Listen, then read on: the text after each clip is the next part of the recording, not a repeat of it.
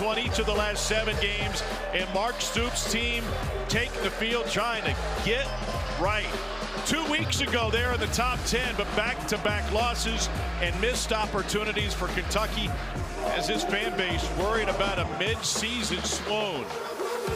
Cats hope the home field and the home crowd will give them advantage tonight as Mark Stoops and company get ready on another prime time SEC showdown.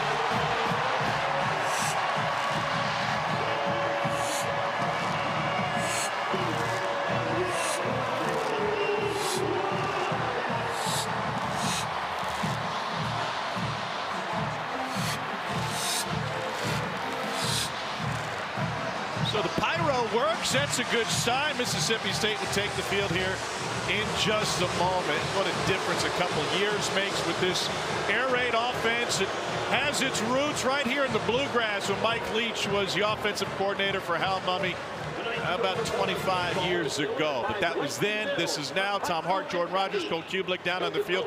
And what they have now is what Mike Leach always wants. He has a quarterback who can he can trust, who puts up monster numbers. Yeah, Will Rogers is not a system quarterback. And I think a lot of times the air raid kind of lends itself to that. All the numbers, the completions, you go, well, it's just because the system. No, this quarterback, Will Rogers, would be a top in the entire country, no matter the offense. He's rewriting the record books, but what is most interesting about this air raid is that it has the ability lately to turn into a ground and pound when they want it. Will Rogers said, we are kicking the door down on drop eight. You want to go drop eight against us? Good. I'm going to audible to a run every time I see it, and the run game has really emerged for Mississippi State, and it's been the difference maker lately. And that freedom that Will Rogers has running this offense has been a big difference make, uh, maker. Meanwhile, down on the field is Cole, and Cole, huge difference maker for Kentucky. Future first round pick Will Levis is back on the field tonight. He's going to be back, Tom, we don't know how limited he is going to be. He's going to have a shank in his shoe, a metal shank in that insole. He's going to wear a cleat that's one size too big because he's got that turf toe that's been hampering him for the last few weeks. We don't know exactly how he's going to move. He looked pretty good in warm-ups, going through his drops, going through the motions, but it's his left foot, so you just wonder driving off that right foot's not going to affect him as much when he does have to elude pressure. If there is a bootleg that's called, and offensive coordinator Rich Scangarello told us, I'm not changing anything in the office. Every play is at our disposal tonight. Not sure how much we're going to see him move around, but if he does, will that injury impact what he's capable of doing? And when his career started at Penn State, he was a physical run first guy. That's a big part of Rick Scangarello's playbook. But they're going to be without some a key part of their offense tonight. Last week, their three top receivers combined for just five catches and about 50 yards. And Tayvion Robinson, one of the key guys, is unavailable tonight. He will not play. How does it impact Will? Well, it definitely impacts him. That's been his safety net a lot of times because Tayvion's such a good route runner. But they have two extremely talented true freshman receivers in Dane Key and Barion Brown. The key is get them easy throws, right? This, this offensive line for Kentucky has struggled in protection. Mississippi State is going to blitz and be aggressive. So get quick, easy throws for your injured quarterback to get it to your playmakers on the outside as frequently as possible. And we welcome those of you who just watched Tennessee walk off Alabama with a 40-yard field goal and in that long losing streak. And now this SEC has been turned upside down. Tennessee still undefeated. Alabama suffers a loss. And here, Kentucky tries to figure things out. They had multiple chances, but turnovers in the red zone against Ole Miss. Dropped them out of the top 10. And the last week played without their star quarterback. Now they've started conference play one and two. Triple header of action this weekend. Big Blue Madness last night. Keeneland ongoing. What a weekend to be in the Bluegrass. Chance Poore will kick it off. Lideatrick Griffin is back to receive for State.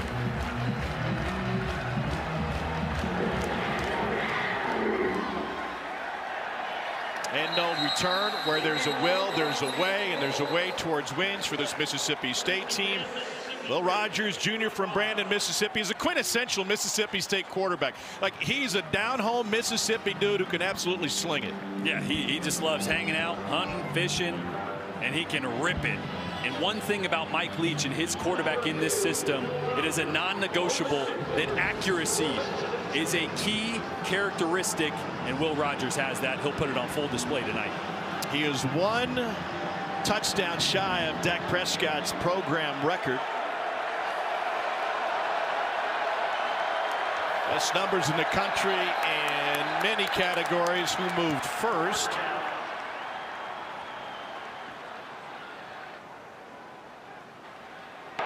Offside on the defense number zero. It's in the neutral Walker. zone, causing an offensive reaction. Five-yard penalty. It remains first down. Freshman from Detroit. And we talk a lot about that drop eight that everyone does against this air raid system, but you see right now four guys at the line of scrimmage for Kentucky, maybe respecting that run game that Mississippi State's put on display. One of those is Jordan Wright. We've got back-to-back flags, and this time it was Wright on the end. Brad White tried to reinvent what they would do last year. Offside on the defense number 15, unabated to the backfield.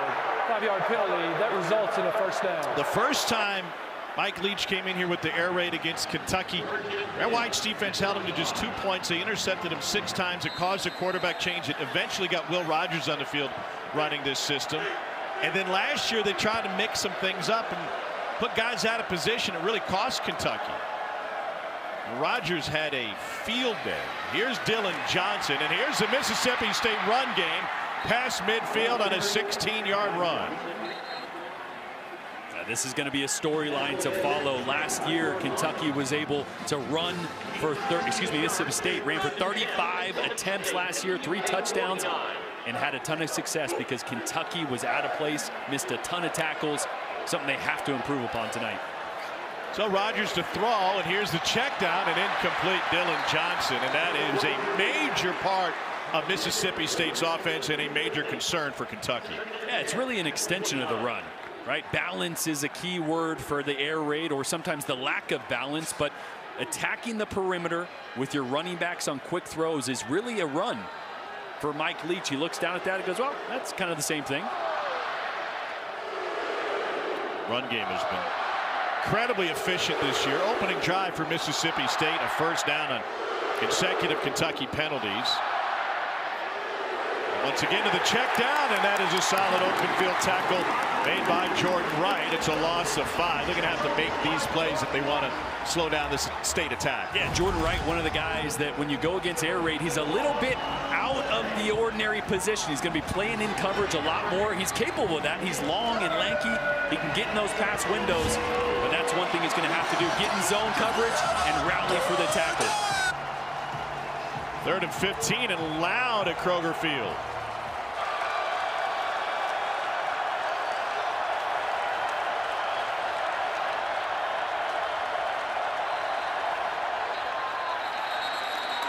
And movement on the right tackle, Cameron Jones. Start on the offense number 58. That's a five-yard penalty, and it remains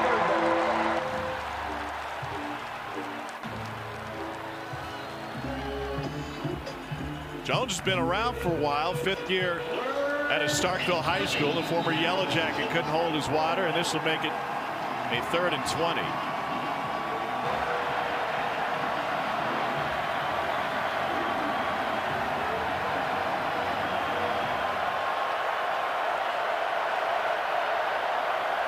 Four-man rush. Incomplete to the back again. That time Woody Marks there trying to get it to. And you don't usually see Will Rogers miss with open receivers. No, they're trying to run a little delay route, run everybody off, get the ball to the running back in space, but you're going to see right here Trevin Wallace able to beat the right guard one-on-one, -on -one, get enough pressure on Will Rogers that he's got to let that go sooner than he wants to. So here's Barion Brown to return.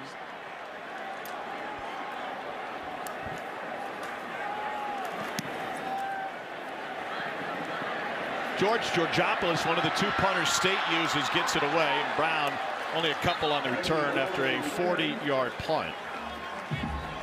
So we'll try to get a feel for whether or not Will Levis is closer to 100% or not. 6'3", 232 transfer from Penn State. Mel Kiper has him as the number four overall prospect in next summer's draft. Will Levis's offensive coordinator, Rich Scangarello, said he's the best he's ever been around. NFL, college, no matter what, he thinks this guy has a bright future. And boy, has Kentucky missed him the last week or so. Good to have him back in the lineup.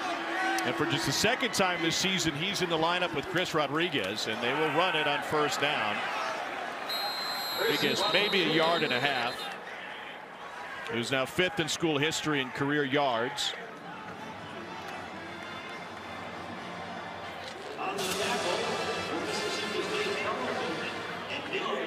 Second down for the Cats, who last year, another 10-win season, beat Iowa in the Citrus Bowl. Second 10-win season over the last four years. Marked only the fourth time in school history they've won double-digit games. On second and seven, Rodriguez again, and barrels his way through. That'll leave third and short. Let's get to the studio. Darn Here's how it ended, guys. Chase McGrath, who earlier missed an extra point, Byron Young got a finger on it. It was a knuckleball through from 40. 15 game losing streak to Bama. Gone, guys. Wow. First win since 2006 for Tennessee against Alabama. Third and one for Kentucky. Going two backs here, multiple tight ends, and the first man through is Rodriguez, who picks up the first down. Cole, we were wondering what Kentucky would look like without Tayvion Robinson in the lineup tonight. And there's a good chance we see extra tight ends and some jumbo packages. I think you see some bigger bodies in the lineup. Garello, the offensive coordinator, says he thinks that will calm the Mississippi State front down. As we know, this defense is going to give you a lot of looks, do a lot of different things. He thinks he can force them to chill out a little bit with bigger personnel. 84 Josh Kattus is back after being out with injury. See two tight ends there at the oh, end of the line boy. of scrimmage. Jeremy Flax. First out of the gate. He's back on the field to probably rotate with him and DeAndre Buford tonight. Flax did not play in a previous week's game against South Carolina. I like that little neck roll. It's kind of like a new school neck roll. That's Almost like an ergonomic airplane pillow you got there, you know? I haven't seen that before. You had ergonomic on your bingo card. Congratulations. You can cross it off. You're welcome, John from Ohio.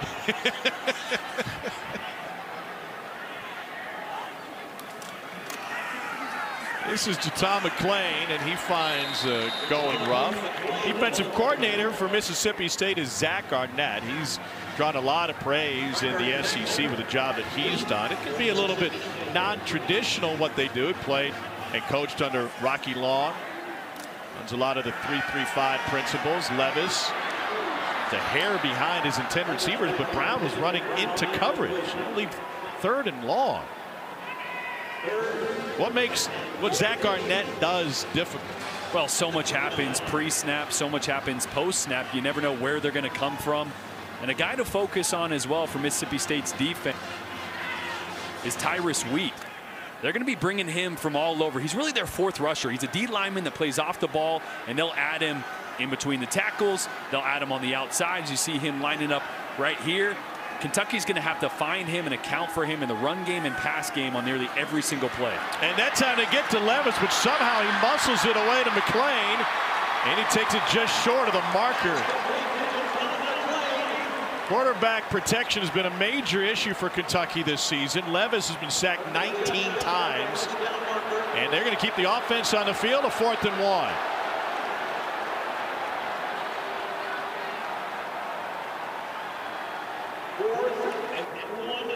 Love the aggressiveness. Let's see if they run a play or they're going to come out maybe in hard count. Try to get Mississippi State to jump. There's a bunch of tight ends on the field. Three right now. They're in that heavy jumbo package.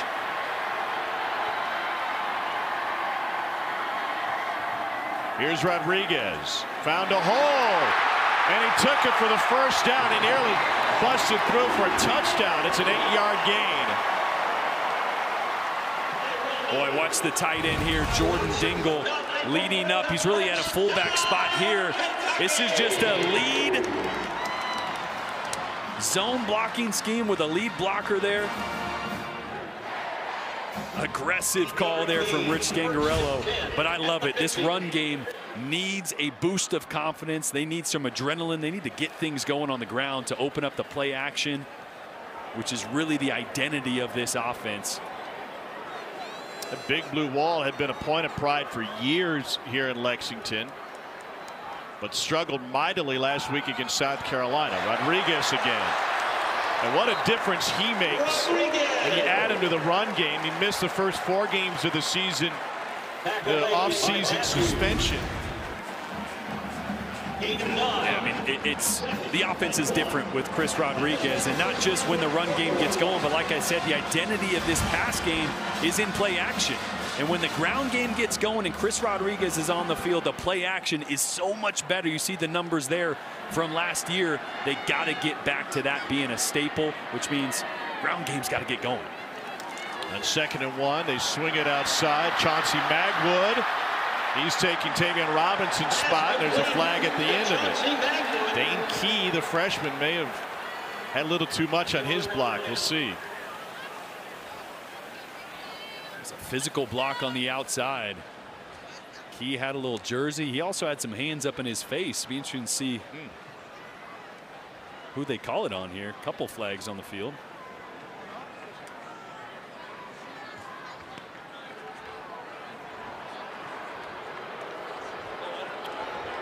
I did say number six, Dane Key. Here's another look, and that'll wipe off a major play. Two key freshmen contributing at wide receiver. Dane Key right here. Perimeter blocking is such a key part of explosive run plays. Working on Forbes there, Mississippi State's best DB. And yeah, just a little too much jersey there. Love the position, love the aggressiveness. As he starts to drift away, you just got to let him go. Here's Kavosiey Smoke. And another flag down. Ooh. Two flags down. Loading one on the far side of the field at about the line of scrimmage.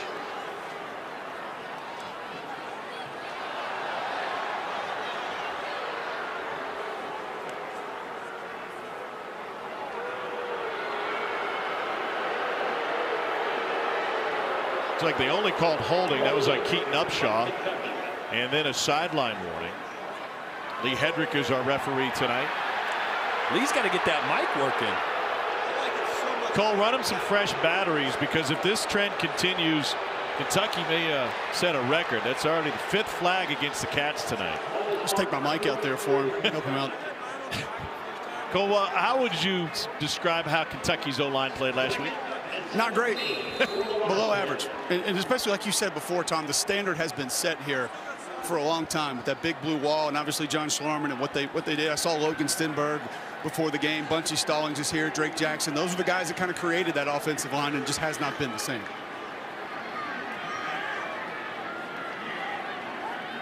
Mississippi State brings four and too high trying to find Jordan Dingle. Todd McShay made an interesting comment talking about Will Levis recently. Levis is a big guy, 6'3", 232. So his love of the weight room impacts his accuracy on short throws. Is that does that have validity to it?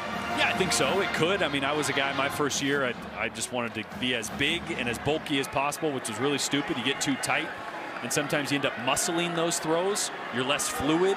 It should just be a flick of the wrist. He's got most talented arm I've maybe seen and been around. So he's capable of just flicking it out there. But yeah, you get a little, a little too tightly wound sometimes.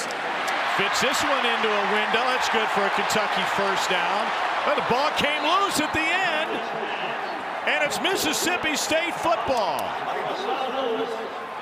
Like Rashaan Lewis gave it up before he went to the ground. Kentucky turned it over in the second play against South Carolina last week. And watch 19 Colin Duncan here.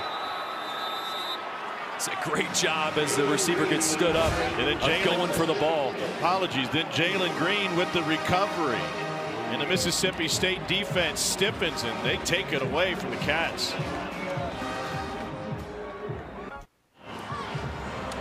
As the Mississippi State offense will take the field. Going to show you a little bit why they're different this year. Yeah, they're still air raid. Watch the left side of this offensive line come off the football. You see nice movement there from Nick Jones and Dollar Bill Johnson. Nasty. Dollar Bill's going to need change after that double team. Right side of the offensive line, Cole Smith, Cam Jones. Movement four or five yards down the field. Absolutely filthy what this offensive line doing in the run game. But another flag on this one, which would have gone for a first down. And our SEC crew working overtime, and this one will go against State. Perfect timing, Cole.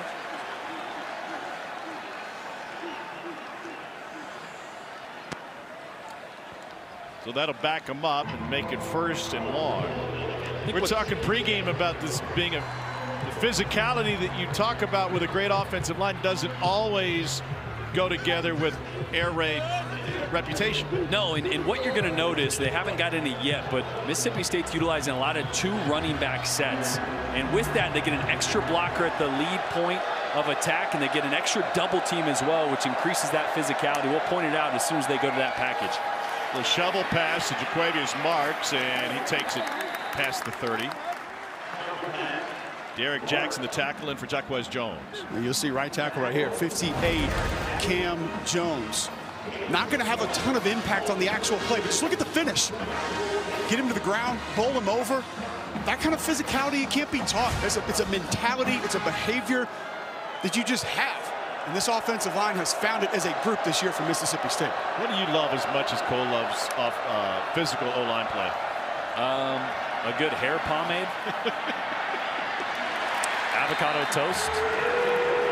Incomplete to Justin Robinson. Netflix and chill. Tight suits. Tight suits. Tom Yep. Hart. Do you want me to keep going? Or? Yeah. Oh, it's third down. Here we go. Come on, get with it. Rogers only two for five tonight. Interesting here, Kentucky. Not dropping eight. Looks like they're going to rush four here, try to get some pressure. They brought a different four, and that brought pressure indeed, and a flag on the play. Carrington Valentine was one of the four rushers, but Kate came on the corner blitz. It's a loss of 10. And I love the look. They drop off. There is no foul for offensive holding. Fourth down. It's really called a simulated pressure because only four are going to come, but it's not the four you think that are going to come. Carrington Valentine's going to come off the edge here. They're going to drop the defensive end, so you still get four rushers, but you still have seven in coverage, so you don't lose a guy on the back end or open up an easy throw for Will Rogers. A great play call there by Brad White on third and long to dial up some pressure. And the electric Barion Brown to receive. Archer Trafford to punt it away. Trafford nearly got it blocked, but got away a boomer. Brown pushed back to the 21. Flag at the outset. This one will be coming back, but it's so fun to watch because he's got elite speed. And Barion Brown flexing that speed will take it all the way, and it will go all the way back to the very first block, which would negate a 78-yard return.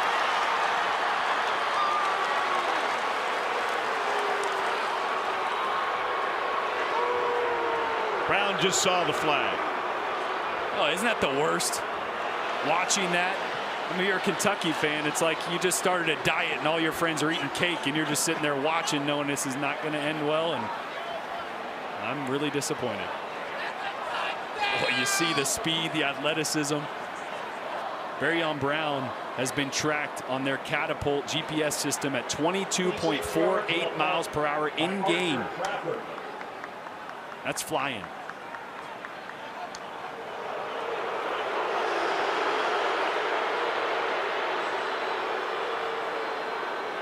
There's actually two of them, including a block in the back.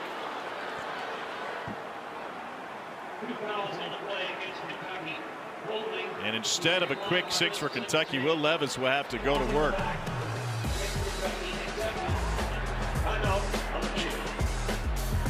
That will bring it all back 78 yards for nothing.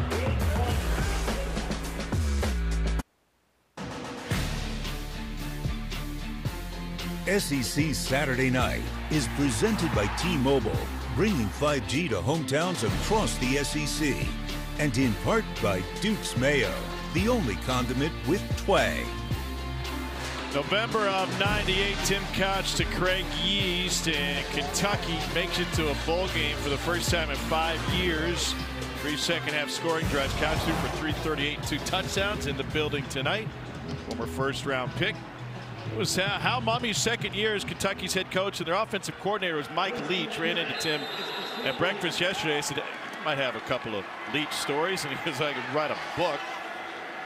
Interesting to hear from Tim how the playing in the air raid and some of the negative connotations that come with being a system quarterback impacted him at the next level. Yeah, I'd love to hear that because you hear about the air raid and how, well, there's kind of concepts, but also we're just trying to find grass and, well, he kind of has this route, but if this happens, he could do this. So it, it doesn't translate directly to the NFL. But then again, there's a lot of guys that have come from these new age systems that are a lot more simple that are having success now in this new era of the NFL. So from a play calling standpoint, there, there's very little simple about what Will Levis is asked to do in this pro style system run by Rich Scangarello, seven years in the NFL with the Niners when they went to the NFC title game, 15 years at college.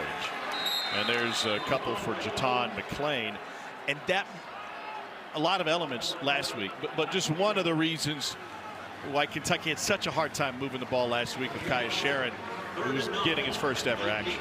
Absolutely. I mean, you got a quarterback that, a young quarterback then, that's got to handle protections and sight adjusts. And against the blitz down the sideline, and it is caught. There's Dane Key, the freshman from right here at Lexington, out of Frederick Douglass. Douglass. It's a gain of 31. That's a great job by Will Levis hanging in the pocket.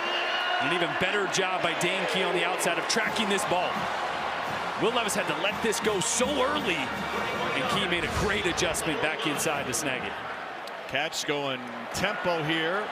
JuTahn McClain takes it past midfield on a pickup of four. How about Key? Yeah, special. That is such a tough catch.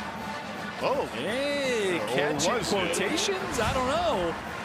Well, that, and that explains why they went tempo to get to the line smart. get the snap off. Really smart call there by Rich Scangarello, knowing there might have been the ground involved on that tough catch. So get to the ball, snap it before guys upstairs can take a look at it. Might have got away with one.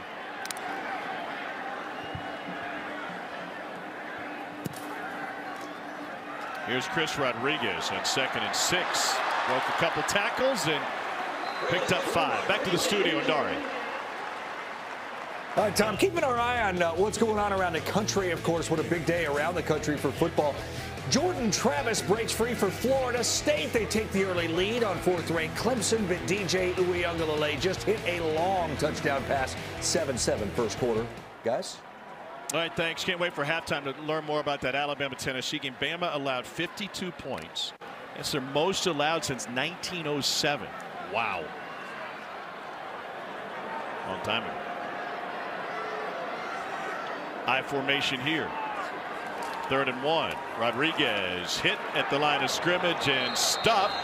Jet Johnson, product out of Tupelo, the first man there. Great read and react here by Jet Johnson, knowing it's short yardage.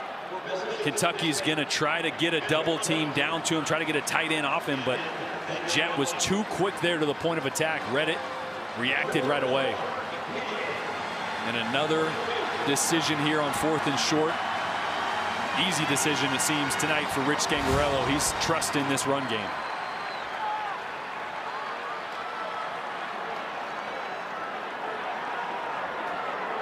Rodriguez the lone back.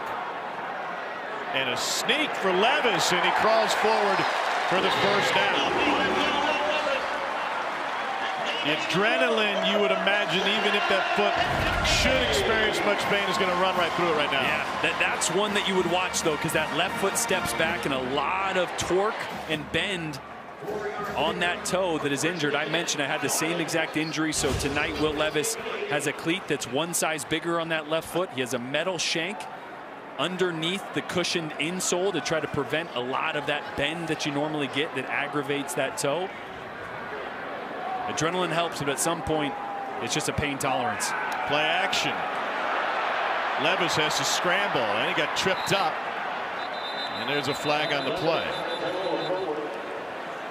Monte Russell got to him.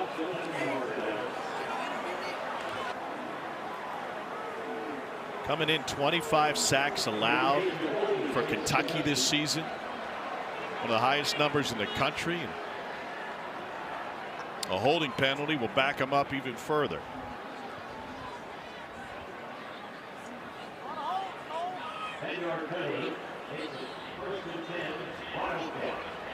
That stat's really twofold, right? I mean, the offensive line can play better. We know that. Cole said that.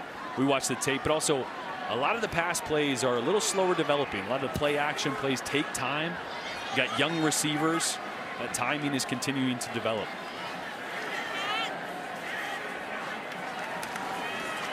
McClain up first and 20. This back to the line of scrimmage. Cameron Young to stop.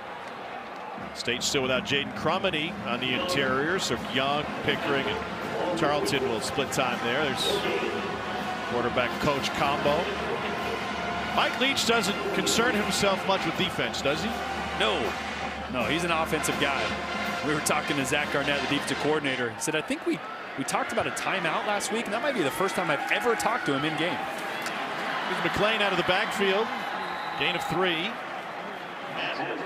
Cameron Richardson the stop. Kind of nice as a defensive coordinator, though. You got full autonomy, but he's like, man, I went and asked him, you know, it was a big moment in the game. Can I take a timeout here? And he was like, man, I think that's literally the first time that we had a conversation in the middle of the game. that is rare. Yes, very. Those head coaches are at least passively involved via the headset with the other side, whatever they're not directly tied to. I think it shows you the trust he has in Zach Arnett, though.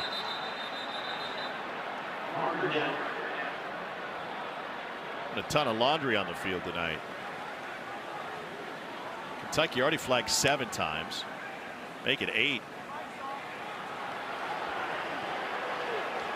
The surprise to me with these procedural penalties, the false starts, illegal substitutions, they're happening with Will Levis as a yeah. signal caller, not a backup.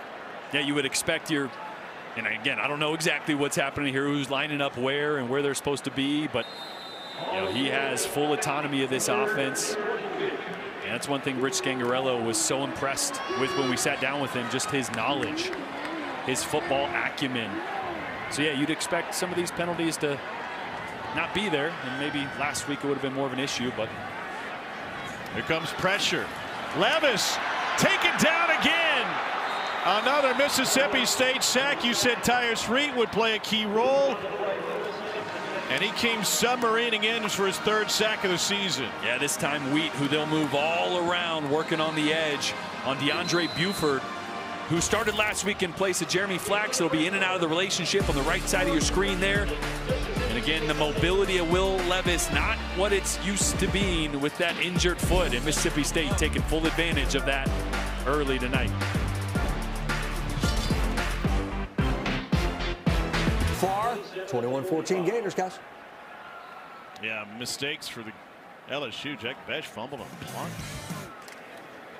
Well, Kentucky will punt it away. Look at that. The punter moved one step to his right. Stuffy would love that. Others not so much. We're going to go pay the bills after that 43-yard punt. Rajon Rondo and company on the sideline tonight.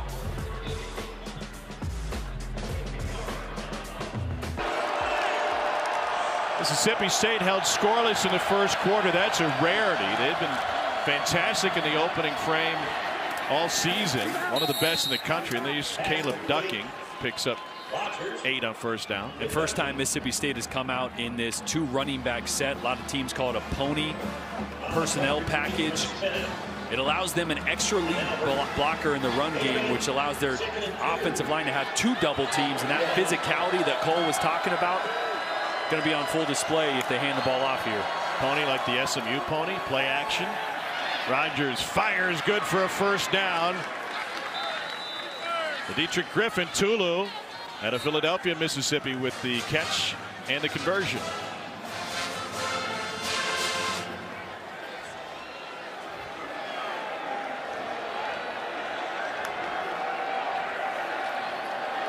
And now back to the running game. And Woody Marks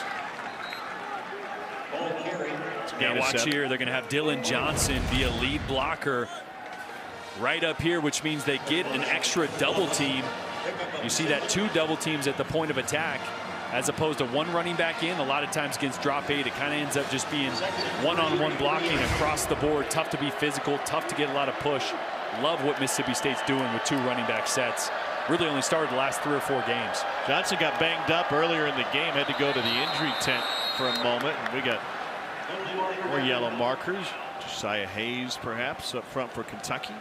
Offside on the defense, number 99 with contact. Five-yard lead. That yardage will result in a first down. Well, this is a Mississippi State team that is fifth in the country in passing. The, the running game had been just kind of a throwaway until about the Kentucky game last year. Yeah. It's when they decided that hey, you're going to go drop eight every play, give us five-man boxes. We're just going to run it. And they've been more successful. Rogers looking all over the field and has nowhere to go with it. Cole, you talked with Mike Leach before the game. He seems to think that on any given play, there is always a Mississippi State receiver open. I spoke to Chris Hatcher, the head coach of the Samford Bulldogs in Birmingham, Alabama. He played for Coach Leach. He coached with Leach, served as his offensive coordinator for Hal Mumme as well. He said the hardest thing about playing for Coach Leach in film sessions, no matter what the play, no matter what the coverage, no matter what happened, he always believes the receiver's open. That's his philosophy. There's someone open on every play. And if you start to read one way and the guy on the opposite end was open, he'll ask you why you didn't start your read on the opposite side.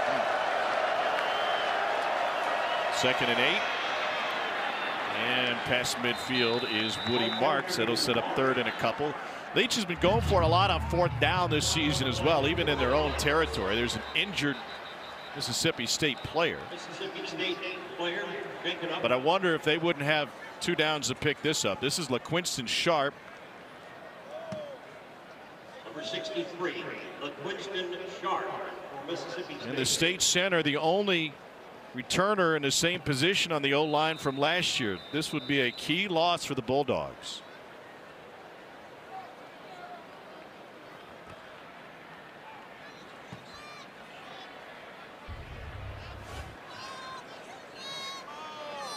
Sharp still being looked at, and this is where the injury occurred to the right knee. Back in a moment. So third and three after LaQuinston Sharp left the field for Mississippi State. Steven Losoya now handling the center duties. Had a major shuffle on the line. Rogers fires complete for the first down. That's Caleb Ducking. And Cole, they had to shuffle everybody up front. Uh, so Dollar Bill Johnson comes in, goes to left guard. Nick Jones stays out at left guard. I thought Cole Smith might move down to center. He's got reps there, but he stays at right guard as well. So multiple changes up front for State.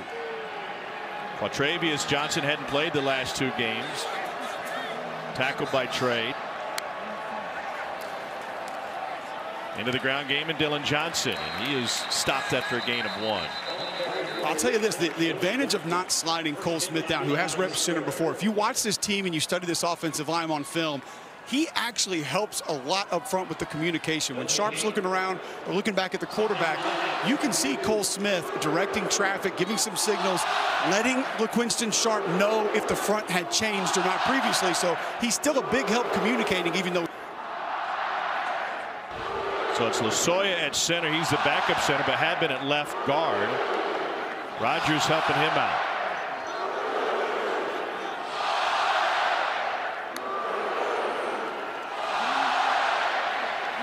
dumps it out of the backfield to Dillon Johnson, and he gets spun out of bounds by DeAndre Square.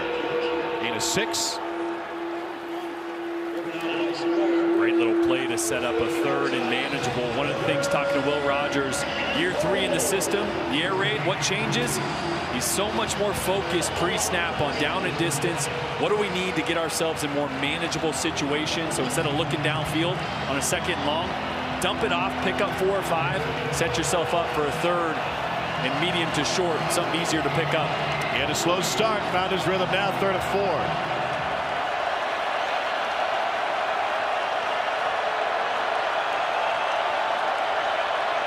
Clock at one. And the out route is good for a gain of five and a first down. Found Rufus Harvey for the first time tonight. And a great little protection adjustment there by Will Rogers and finding his quick option out of an empty protection.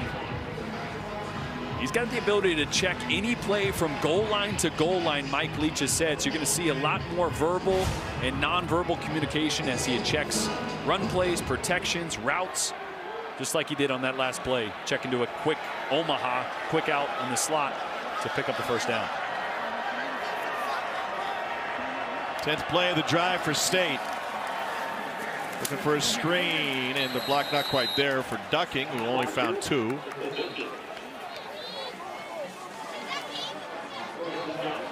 So this big shuffled offensive line, Cole, but we don't expect Brad White necessarily to attack any of the soft spots, huh? Well, we asked Brad White yesterday because you've got a couple guys that have played out of position different times this year. Will you attack a certain spot, a certain weakness if you see it? And he said, you can attack a weak link, but if you do, it has to be within the scheme. So he didn't feel like he was going to make too many adjustments directed at one individual time.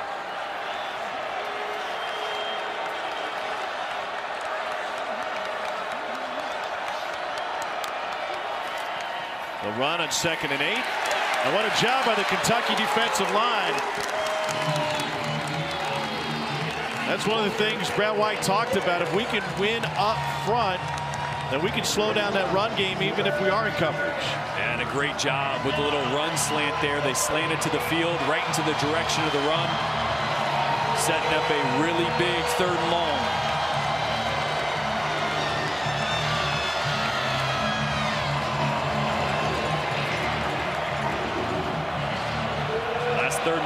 Kentucky brought pressure. Looks like they're going to bring four play coverage here. And they show late. Here comes safety blitz coming. Rogers rolling on the run will throw it away. Jordan Lovett came flying in to set the clock for Rogers and get it moving. Boy, this one rolled really late. Great job by Brad White. Watch all these guys that late came up on the line of scrimmage. At first looked like four were going to rush, so Will Rogers didn't have time to change the protection. Did the best he could to escape throw the ball away, but a great play design to dial up pressure again on a third down by Brad White. Kicking game has been inconsistent for State. This will be a 48-yard attempt for Massimo Biscardi. And that one will punch through, and Mississippi State took a while to get there finally on the scoreboard 3 nothing. We'll talk more about this air raid. We'll talk Kentucky football history and maybe a couple Mike Leach stories. Tim Couch will join us on the other side. Well, you may know this already, but Mike Leach's roots in the air raid go back to Valdosta State, Kentucky, uh, Iowa Wesleyan before that. But then here in Lexington, and his quarterback, first time out with Hal a head coach, is Tim Couch on your way to being a first round pick. What, what was it like for you when the air raid was first introduced?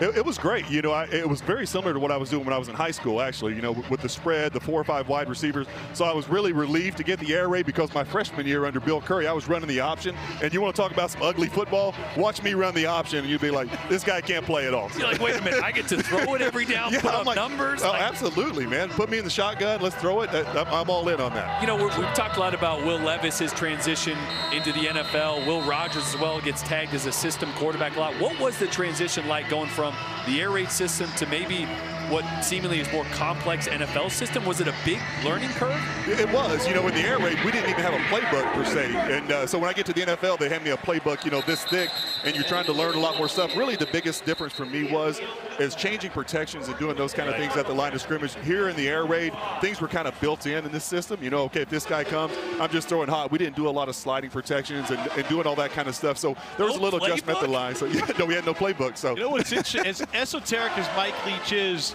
I feel like he's more refined now because he's been a head coach for a number of years. What was Mike Leach like back in that day? Uh, he was pretty much the same guy. You know, Mike was always the kind of guy, you know, I would go in and talk football with him, and he would talk about everything but football. Right. You want to talk about wars and histories and pirates and everything else. I'm like, man, I just want to talk about the game coming up. what am I supposed to do on this play here? Right, exactly. Well, if you would have watched that movie, I told you. Levis comes up throwing and finds Barry on Brown. Right, Tim, you know Will Levis really well. You've gotten to know him uh, since he's been here. How would you describe his development as a quarterback? Uh, it's been great to see. You know, last year he had moments and showed flashes of brilliance, but there were some ups and some downs. You know, turning the football over a little bit, uh, little issues with some accuracy and things like yeah. that. But this year he's really taken a big jump, and you know he put a lot of hard work in in the offseason. He's in such command and control of this offense now, and I love seeing what he's doing out there. The guy's a competitor, man. He's as tough as it gets, and uh, you know I, I, would take that guy over anyone in the country. Rodriguez with the spin move will carry this for the first down. We're talking with Mark Stoops yesterday, and he said, "Listen, there are some great quarterbacks in this country, but relative to where he is doing this, where Will Levis is accomplishing all of these numbers and where he's going to go in the draft.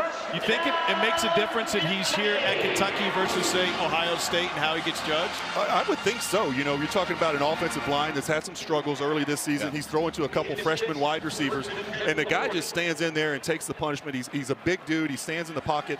Uh, he's not afraid of contact. Obviously, he's got one of the biggest arms in all of college football, and uh, I think he's doing a great job. And I think it does make a difference that he's putting up the type of numbers here at Kentucky instead of, you know, maybe being out of Alabama or Ohio State or, or one of those type of schools. Five for Rodriguez. All right, who's the uh, who's the long driver out of these two? Uh, Will hits it a long way. I was probably a little more consistent. He's just kind of getting into golf a little bit. Uh, but that, that was a great day. We had talked about getting together and playing some golf uh, for a while now just to get the opportunity to get out there and just uh, just the two of us and play a little golf was, was a lot of fun. We need to get back in the gym, Tom.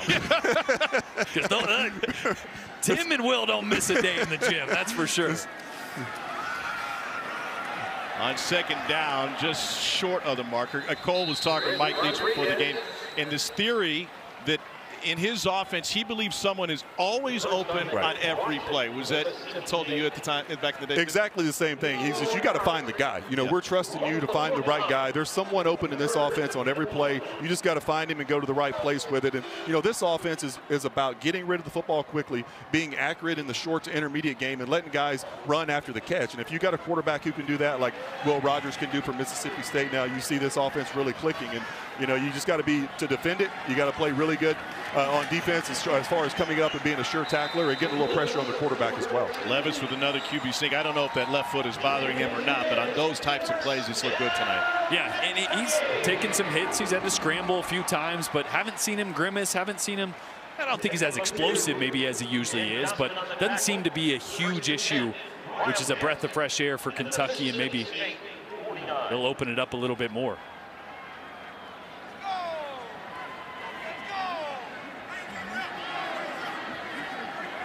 Movement for Zach Arnett's defense.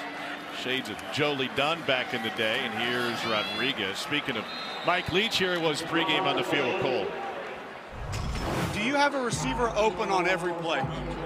I hope so. We should. We should by process of elimination. But generally, on the rare occasion, on the rare occasion that we don't, uh, there's definitely some uh, some heat delivered. You know. Okay. All right. But, you know, got to find them quick enough, too, you know. Absolutely. So, yeah. That's the Mike Leach you know? That's the Mike Leach I know. He hasn't changed a bit since 1997. Second and nine now. And they'll go straight ahead with some window dressing. Rodriguez running through dudes. And it's a Kentucky first down. Tim, break down this replay for us. Yeah, Kentucky, you know, we've been known for running the football here over the last several years and starting to get it going. Chris Rodriguez back into the lineup, and he's made a huge difference over the last couple games. He's just such a powerful runner, always falling forward, a big physical guy, and this is what he brings to the table and brings this offense. It can be it can be messy, right? It doesn't have to right. be blocked exactly. perfectly, which is what Kentucky needs in this run game. He'll make you right by running through an arm tackle and falling forward for two or three extra yards. Averaging over five yards a carry, and this is the eighth play of this drive. Rodriguez again. You know, Tim Couch should be good at breaking down plays. Not only was he the first pick in the draft, but the guy has worked for years in television. In fact, years ago when you were at Fox Sports South in Atlanta, you won an Emmy that they delivered to my house. I opened how, how that happen? I have no idea. I opened up the box. And, hey, look, uh, I have to scratch that out. to the local yeah. trophy shop and say, hey, can you put a right. nameplate on there? Scratch that out, yeah. So did you send it to me? How did I it get it? It eventually got to you, yeah. Yeah, I had it sent Did it, it though? Can we clear the air? I do have it in okay. my house, yeah. Okay. Yeah. I should have kept it. it's second and 12 now for Will Levis in Kentucky. What, what makes him a quarterback that scouts love? I think just all the things you look at. Number one for me would be his competitiveness. The guy is just out there. He plays the game almost like a linebacker. But, you know, as far as all the physical traits, he has everything you look for the size, the ability to run and extend plays, the arm to push it down the field. And he's an outstanding leader. Guys really respond to him. And, uh, you know, he, he just has everything you're looking for at that quarterback position. You put up some numbers in your day. We had a chance to spend some time with Hal Mumme, He's coaching in the XFL last time we saw him. He's happy to just have a, a bourbon in the whirlpool and call out simple plays like six, right. 95, 90. So I asked him, I yeah. said, what, what is six? It seems like a very simple play call. He goes, well, that's all four verts. That's go four get a touchdown. Six is four verticals. Go get it. Uh, 95 is a, a white cross, one of the staples in this offense. And, and all the all the offenses I've been in over the last 20 years, I still remember the play calls and the reads in this offense. It was uh, you know, it's, it's amazing to see when we put this offense in in 1997 and, and what, the, the, way it's still around now. You know, yeah. the, I didn't realize the impact it was going to have. It's still spread across college football, made its way into the NFL as well. So it's pretty cool to kind of be on the ground floor of that thing and just be around such innovative guys who were so forward thinking like Coach Mumme and Coach Leach were all the way back in 97. A heck of a coaching tree. They're going to leave the offense on the field here because the kicking game for Kentucky has been just as adventurous as State's has been. What do you like here, Jordan?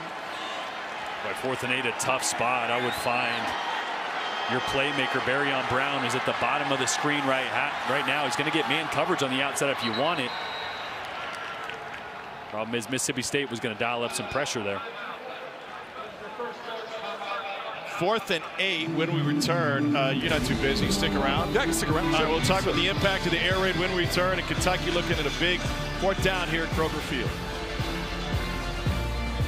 Time report coming up. We will show you how Tennessee got it done against Alabama. KJ Jefferson back. You could certainly tell Ole Miss running wild. Nobody running wild in this. How about on a day when every SEC team was scoring? We're at a 3 0 game here right now. Yeah, kind of crazy. Kentucky with a few key missteps with that fumble, that punt return, but uh, Chris Rodriguez is running well. Defensive battle, and I love it. I'm sure you can see it shortly, guys. Right, Cats trying to get some points, fellas. 51-yard field goal attempt for Matt Ruffolo. As long this year is 50 kicking game has been an adventure. This one drifting, and it goes wide, and a missed opportunity on fourth down. And so Kentucky, after that long drive, ends up with nothing in a 3 nothing game. Mark Stoops said, what, what do you want me to tell the guys? I just tell them kick it through the uprights. That simple, right? Yeah, it should be that simple. Air raid seems to be a simple offense, right? Well, Hal Mumme, towel around his neck, and Mike Leach have left a lasting impact on the college game. And take off from Bluegrass Airport. You never know where you end up. Well, Mike Leach left here, went to Norman on a coaching staff that was absolutely loaded. OC there. That was really the start of the air raid spread. Texas Tech and a stopover at Washington State. Now back down to the SEC. The coaching tree is really impressive from all of that. And that's complete to the perimeter. So what is the first thing Will Rogers is looking for when he comes to the line running the air raid? Uh, you're finding the safeties. You know, when you come up to the line, you always want to find the safeties, see their depth, where they are located to the hash. Uh, you know, it kind of gives you a feel for if they're going to be rolling, if a guy's coming down, where the blitz is coming from. So he's always finding those safeties and then kind of getting into his offense from there. 9 of 13. Rogers finally got it going on the last drive. Was able to find his running back again. We talk about the influence that air raid has had in the coaching tree. Guys that have now taken over their own jobs over the number of years. Mark Mangino was one of the first from Oklahoma to Kansas. And now look at this, guys. Uh, that guy Heupel. Well, he got a pretty big one today, huh? 52 on Bama? Most Man, scored against Bama since 1907. And then the air raid making it into the NFL as well. Tim, thanks for dropping by, man. Really appreciate it. I really it. enjoyed it, guys. Thank yeah. you so much for having me. Jordan, Giving us your time again. Too. Tim Couch has run the air raid. Got a chance to talk about it with him and a former Kentucky quarterback hoping the Cats can find some points. Mike Leach's offense held to just a field goal here early on.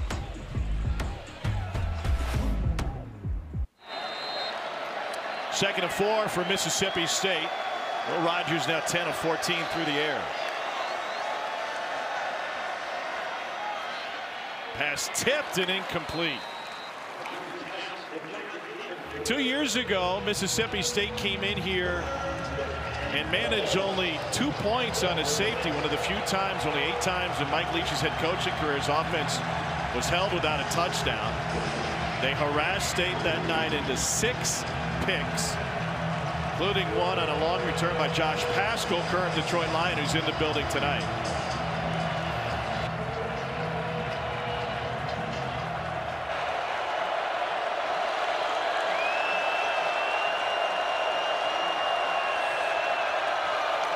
Third down four.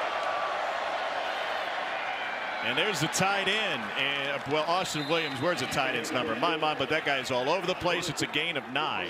They took away the running back, and Williams was just sitting and waiting. Yeah, just a little mesh concept. It's a staple of the air raid. And Williams did a great job of seeing a man in front and sitting right down for Will Rogers to find him. That one is tipped, and Williams still got it. Or did he? Came out at the end, incomplete. D'Eryk Jackson got his paw on it.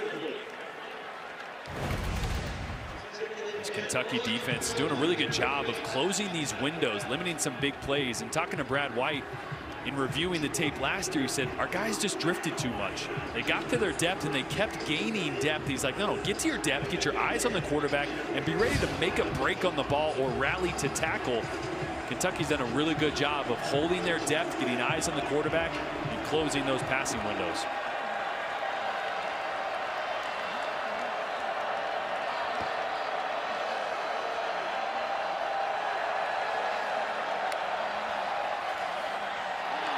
Another tip, and that one is incomplete again.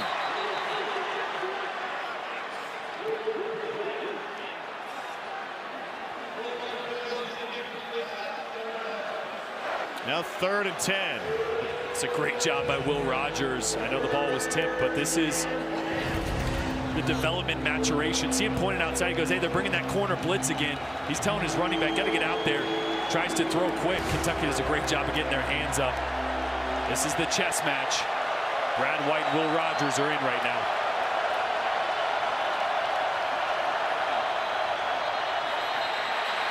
Yeah, flag down, never got started, and Rogers was saying, False hey, get start off me. on the offense, number 66. That's a five-yard penalty. Still third down. Simulated pressure again. Bringing pressure. I'm not sure if it was simulated there, dropping off or not, but Brad White is not sitting back in drop eight saying, we're just going to play small ball. Let you play small ball here. We're going to try to make tackles. He's forcing the issue. And I think a lot of times as a coordinator against the air raid, you get passive. You sit back, okay, here's what we got to do. Not tonight. Kentucky is bringing heat, and they are really affecting this Mississippi State protection and offense. They're not in rhythm right now. Minute seven left in the half. Rogers to his running back, Woody Marks. That'll bring up fourth down. Carrington Valentine with the stop after a seven. Offense will stay on the field for Mississippi State.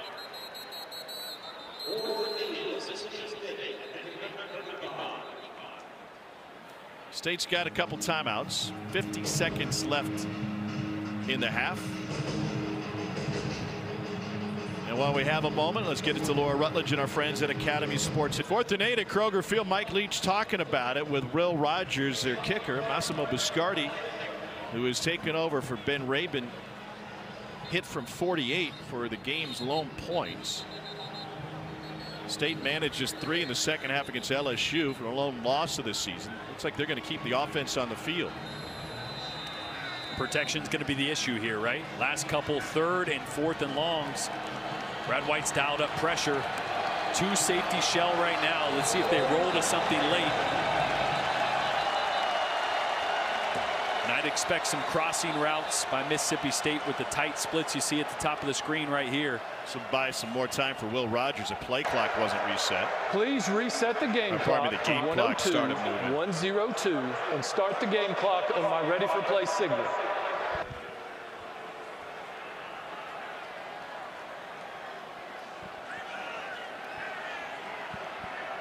Fourth down eight.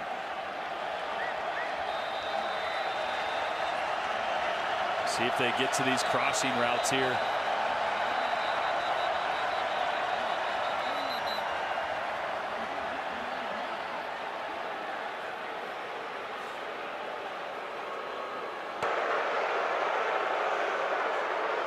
The game clock on the scoreboard Jumbotron is incorrect and not working. However, the in-house game clock is correct. Please reset the game clock to 102. We will start the game clock on my signal. The game clock on the banners around the stadium are correct. Does that change Will Rogers' sight line? Uh, not really. He's looking at play clock. I mean, yeah, I guess you are looking at the jumbo, but still got a timeout in the pocket, got plenty of time. It's fourth down. If you pick this one up, you can get aware of the play clock here, but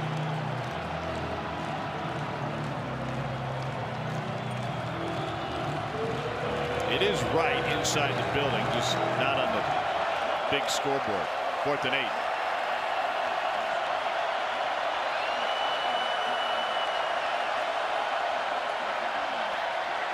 Rogers incomplete. And a turnover on downs. We give it back to Kentucky. It's just great coverage on the back end there. Nowhere to go with the ball.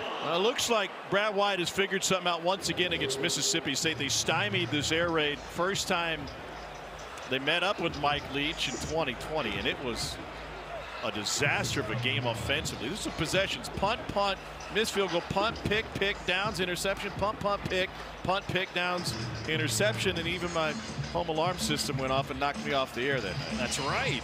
Cole Cubelic had to do a little play-by-play. -play.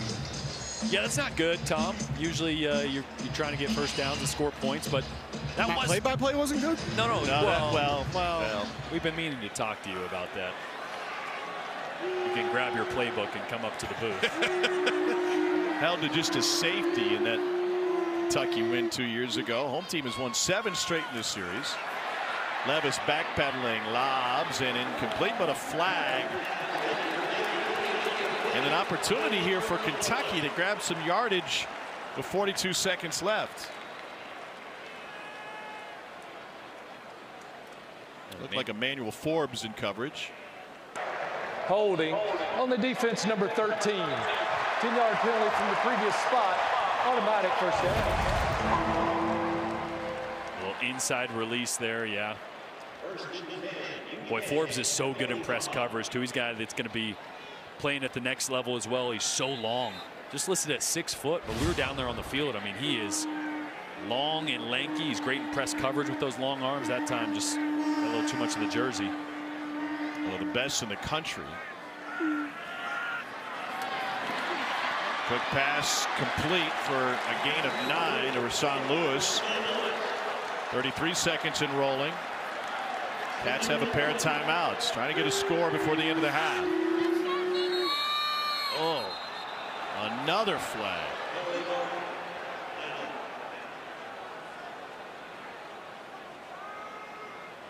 State's been flagged four times. This will be the 10th penalty on Kentucky.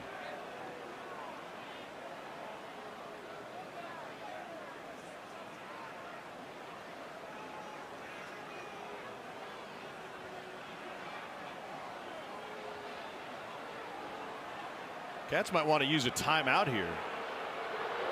It's after the announcement. Ball, ball start. Once the ball is set, it'll offense roll. number 62.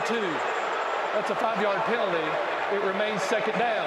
This penalty also carries a 10-second runoff. However, to avoid the runoff, Kentucky has elected to take a timeout.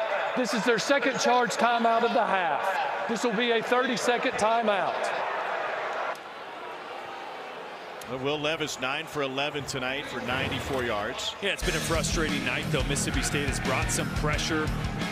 You can see he's still not quite 100% with that turf toe.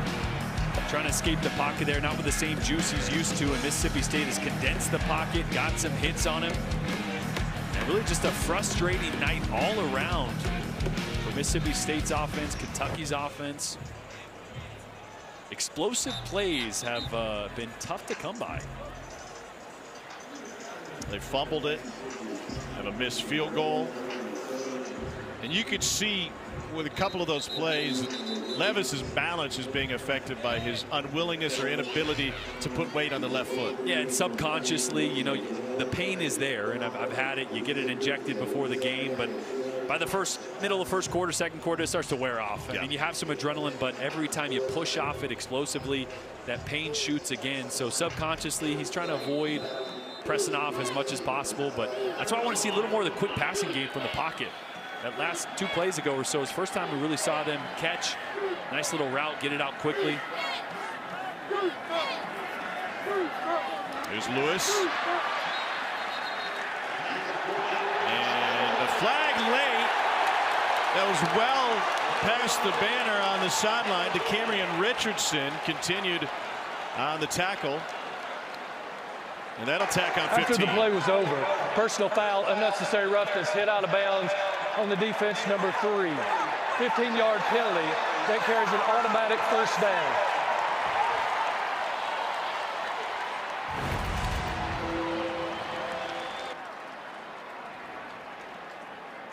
Yeah, just a little bit, little bit too much there. I think he was trying to go after the ball. But you're about five yards out of bounds. You can uh, leave the ball where it is.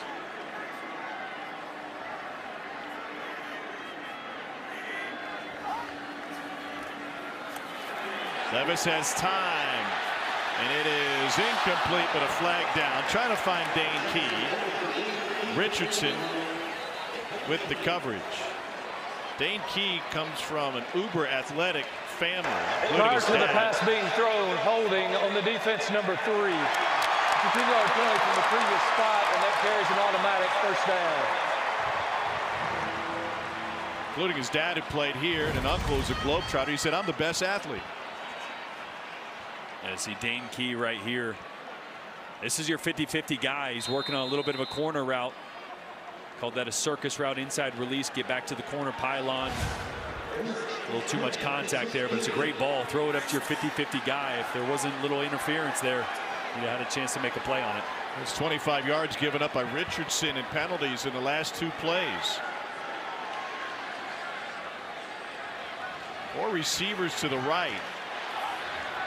And Levis with the quarterback run takes it to the 10 and a timeout taken with 14 seconds left on the clock.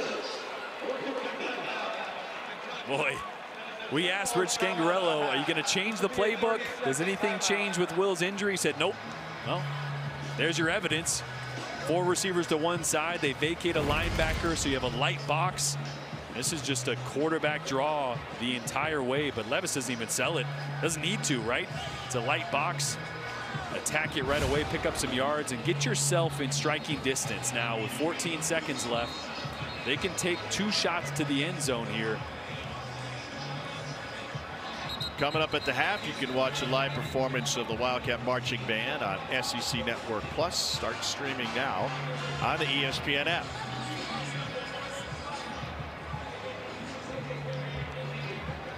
The average play takes about six seconds, so you have two opportunities here to take a shot into the end zone. No timeout, so you want to preserve the ability to kick a field goal, get some points here on the board before half. So everything's got to go into the end zone. And I would look at my matchup at the top of the screen, excuse me, at the bottom of the screen here with Dane Key working on Emmanuel Forbes. He's looking there, and he will fire that direction, but incomplete. Pressure put Levis on his backside. That was your little fade stop to the pylon. We saw. It's interesting talking to Levis about it last week and, in the fade because you work on it hundreds of times in the offseason to run it three times during the season. And they'll, with nine seconds left, try to tie this thing up. That's interesting to me. Think you get time for two more? You get, yeah, I mean, you got time for one more play. Yeah. It's into the end zone, then you can kick it with three, two seconds left. 28 yard attempt for Ruffolo. Movement by State. The kick was good. Well, the five would give them a first down. The downs are irrelevant with the clock situation. And that's what's interesting here. They're going to bring the offense back out, but that's what you should have done already. He said, I'll take the points. They're going to take the points here? Offside on the defense number 13. That penalty has been declined. The field goal is good. I, I just don't understand it, right? You have a third down. You had nine seconds left. A shot to the end zone, a jump ball to the end zone takes four or five seconds. Even if it took seven seconds, you got two seconds I, to I kick can, it on I can fourth down. counter. Just play devil's advocate here that you have an offensive line that has struggled. The last fade he tried to run, he ended up backpedaling 15 yards. Okay, but, I mean, Please that's- put four seconds on the game clock. It did not start on the last play. Please reset the game clock to four seconds. Thank you. How about this idea? You've got, at, at this point, take away the play. You've got three on the board. You got points on the board in a very low scoring game. Would you be willing to take them off to take a shot? Yes, but because uh, you should have the first time. It was third down, nine seconds left. And remember, the average play is six seconds. A jump ball takes four or five seconds. Like you have a quarterback that is projected to go in the top 10. You got a big receiver that is talented. Just throw it up there, or if it's not clean, have him throw it 10 rows into the end zone and then kick your chip shot field goal again. I, I get it. Points are points, and you're going to go to the locker room, and it's going to be tied up, but as aggressive as they've been on multiple fourth downs tonight, that that to me is, I don't know. Kind of goes against what they've been doing. Yeah, yeah. But Well, they hey, have three missed field goals on the season. yeah. End of the day, it's three-three. So I can be mad. I'm a quarterback up here. I want to, you know, uh, I would have loved to go for it down there. I'm sure Will would have too. But tie ball game. It was an ugly first half, penalties and everything. So go to the locker room, make some corrections, come back out here and start all over. Well, Mississippi State needs to answer for the offensive line play. Remember, they lost their center, LaQuinston Sharp, in this first half and had to shuffle a bunch of guys around. And once again, the second time in three years, Brad White's defense doing a fantastic job. This was after Rogers set an SEC record completion percentage last year. completed 92.3% of his passes. Story tonight is at just 60% after a very slow start. Been sacked once, pressured numerous other times. A chance to hear what Mike Leach has to say about his offensive performance.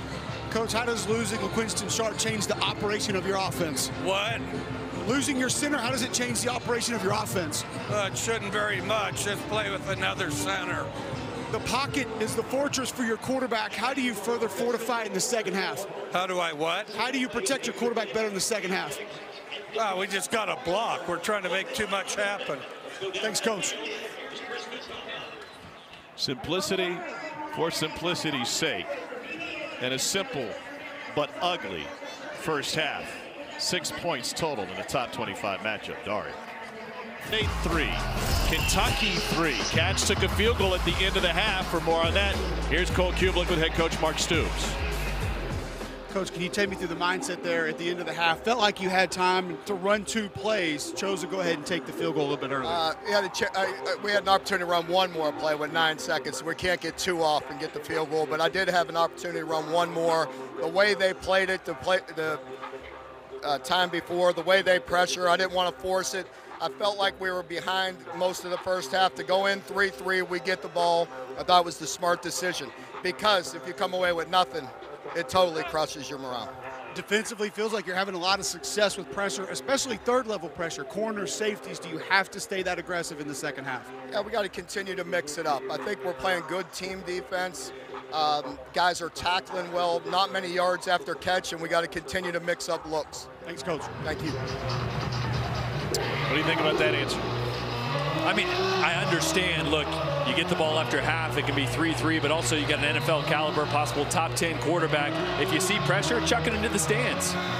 If not, you maybe have an opportunity to get six or seven. So either way, 3-3, here we go. Nation's best kickoff returner, Barion Brown, who had a punt return touchdown waved off after a holding penalty in the first half. Trying to give the Cats a spark and won't have a chance right here. So we start the second half 3-3, a low-scoring game Either offense able to find its rhythm. Some long drives for Kentucky, but they came up empty. Yeah, it's a great break for all of you that watch Alabama, Tennessee, and you were just tired of scoring. Here we go. That's what we're here for. Um, you know, it was interesting. Explosive plays were not there for either team. I think it was the pressure on both sides. Kentucky brought a ton of pressure, held Mississippi State to under 100 yards. Not used to seeing that. And Kentucky started to get that run game going a little bit, but no play actions, no big plays off that either. So see how both teams adjust. You want to appeal to those who take the under? Yes. I don't like hanging out with those people. Oh, Here's Chris Rodriguez up the middle to Kentucky first down.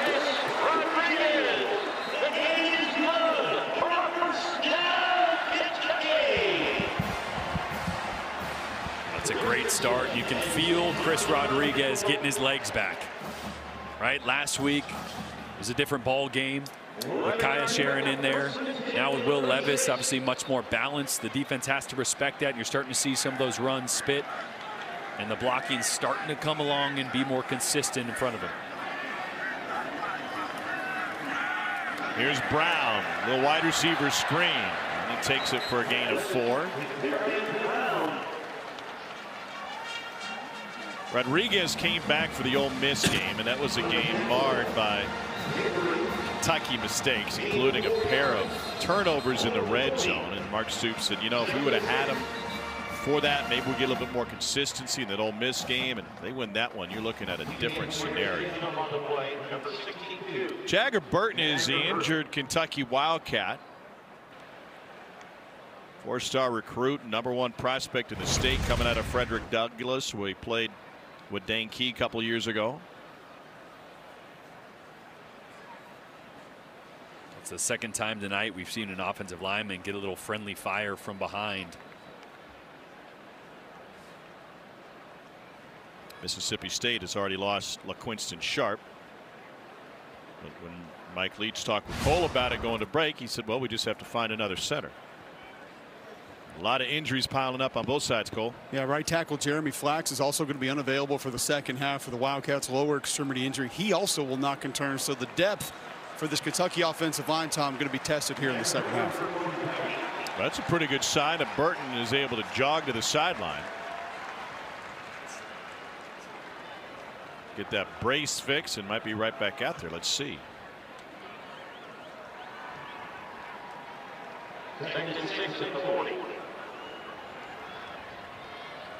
Will Levis 11 of 14 tonight.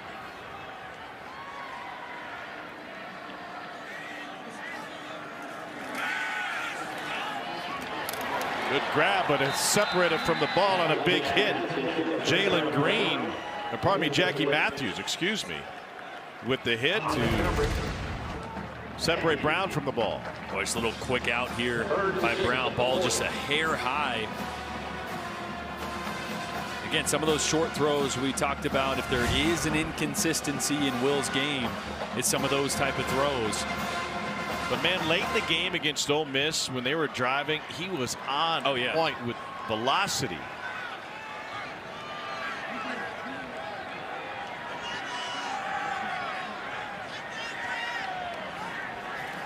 Here comes pressure. Levis heaves it. Brown with a flag, still hauled it in. And Levis is injured.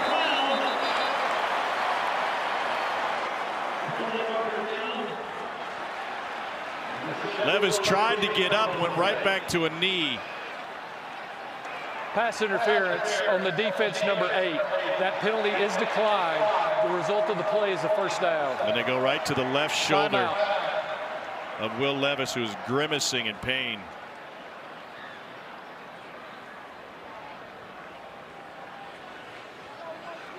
For at least a play. The Cats are going to have to turn to Kaiya Sheron, who got to start last week.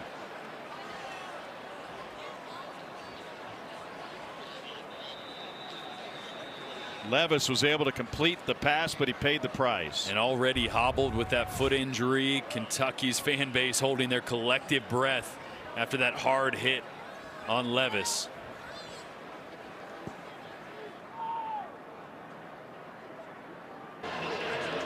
This is the hit. Took Will Levis out of this game, falling on his left shoulder. Moments ago, he ran to the Kentucky locker room, tried to get it looked at. His mother, Beth, frustrated. And you can understand that. Kai Sheron hands it off to Chris Rodriguez and loses a yard. Sheron last week got his first career start. Went 15 of 27 for 178, two touchdowns and a pick. And they learned early on that they were going to have to minimize the play call. Absolutely. The field shrinks a little bit vertically, right? Last week, they didn't push the ball downfield. So now Zach Arnett and this Mississippi State defense can get a little more box heavy, anticipate the run, anticipate some quick perimeter throws, but you're not going to see many, if any, high safeties. As you see here, everybody within 10 yards. Sheron has to pull it down and open receiver gains just two yards. That's Jordan Dingle. Zach Arnett kind of backing off there as well, guys. Remember, he told us when we met with him, I need to just sometimes sit back, call base defense, let my players play. We've got a veteran group. Leadership is not an issue. The veterans take care of the motivation for us. Saw right there, just kind of go to a four down front, play coverage off a little bit, let your football players play. You said veteran, Cole. I remember looking at my play sheet for the first time this week going grad, senior, senior, grad, Yeah. junior, grad. See, I mean, there was there's one sophomore in the two deep.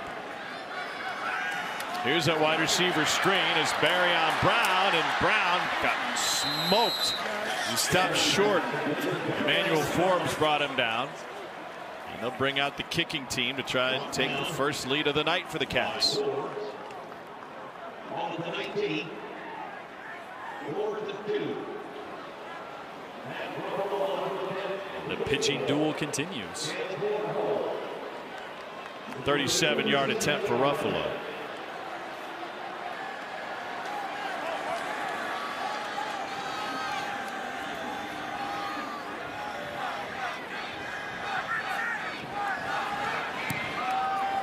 Ooh.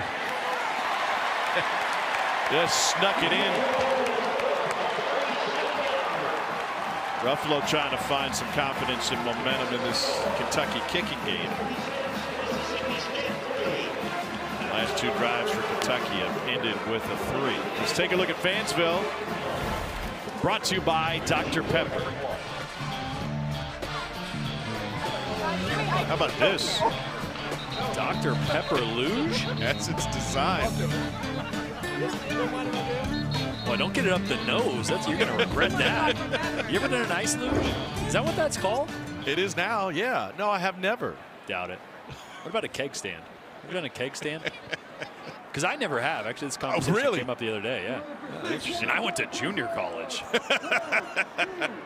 Well, you guys only had pony cakes. You didn't answer the question. Yeah. Yeah. My man. Bro. Here, hold my legs. It's over at the Pike House, huh? Watching the offensive performances in the first half, I did one at the break. I just shotgunned a Red Bull. it's Been a long day. Now it's a party. They'll return for state.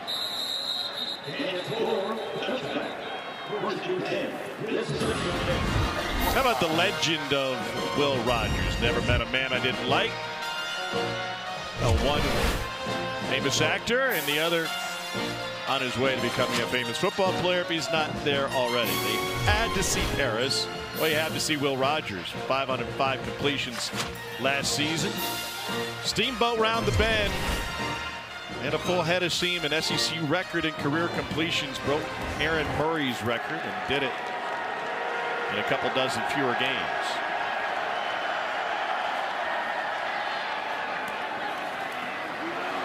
A little bit of running for Caleb Ducking now. Turns it into a 12-yard gain.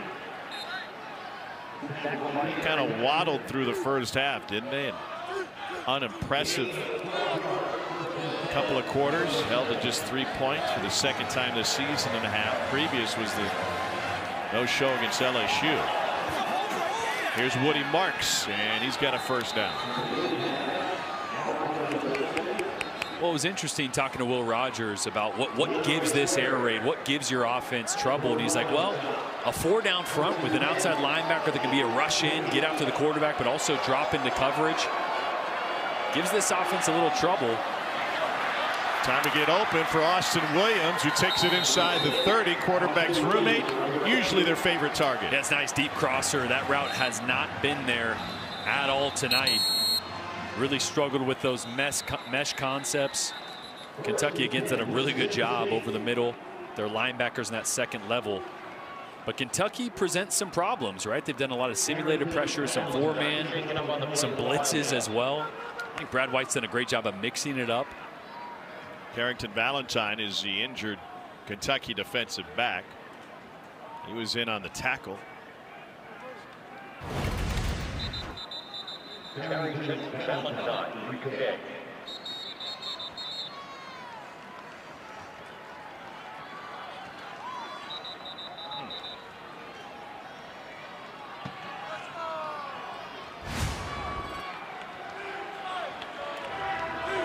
Out of Archbishop Moeller, power program in Cincinnati.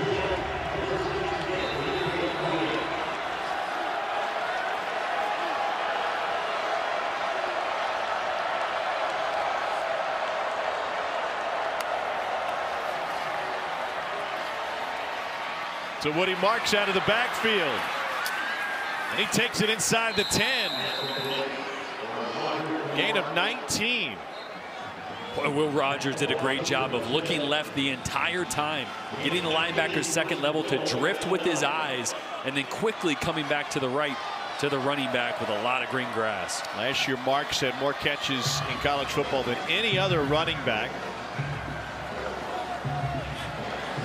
Half of his touches this year have come on receptions. Valentine back in the game at corner.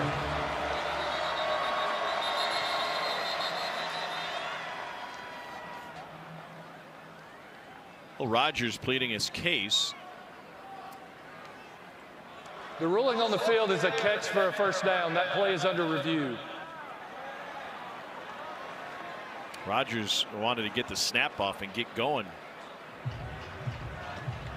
This time in the red zone for Mississippi State tonight. In addition, we're told that the replay booth is looking at a possible targeting violation on this. It would come right there from Keidron Smith.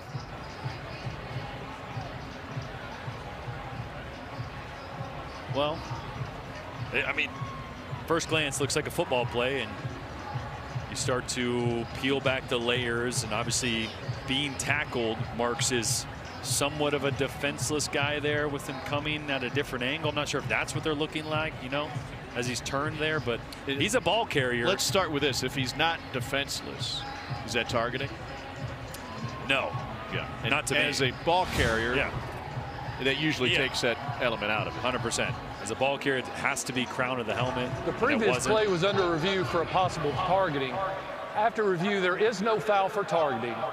First down.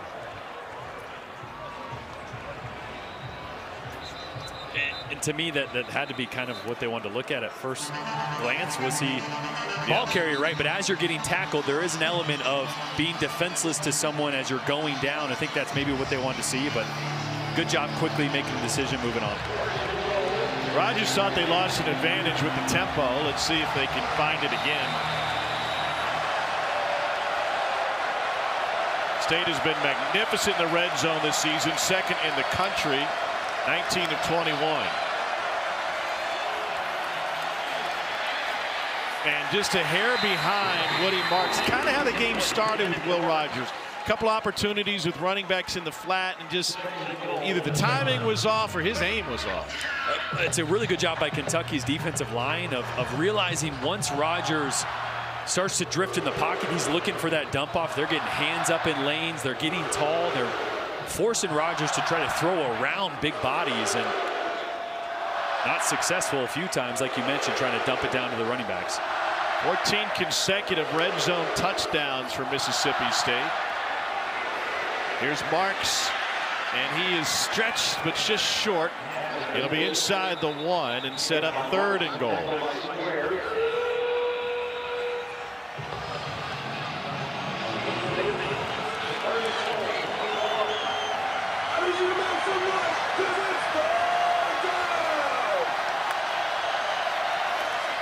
Marks hit in the backfield. Just back to the line of scrimmage. And in a 6-3 game, St. will have a chance to chip shot to tie it. Justin Rogers playing the nose. Just absolutely snuck right through there. Mike Leach says, forget about the tie. We need six to leave the offense on the field.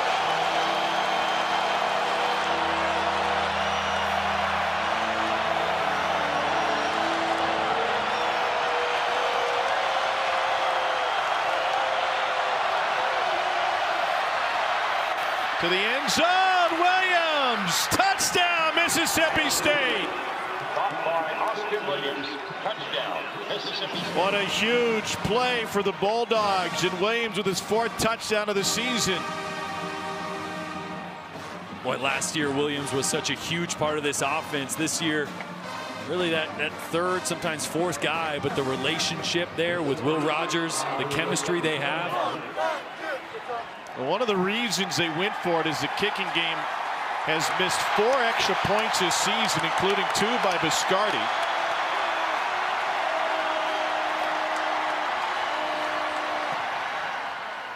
He knocks that one through, and our first touchdown of the game comes into the third quarter, but here's a developing story. Will Levis back on the field for Kentucky. After Will Rogers throws for his first touchdown, it came on a fourth and goal from the one. His 23rd passing touchdown of the season. Wow, they hang half a hundred in Provo. That's impressive. Meanwhile, Will Rogers has tied Dak Prescott career passing touchdowns in state history. Really good company.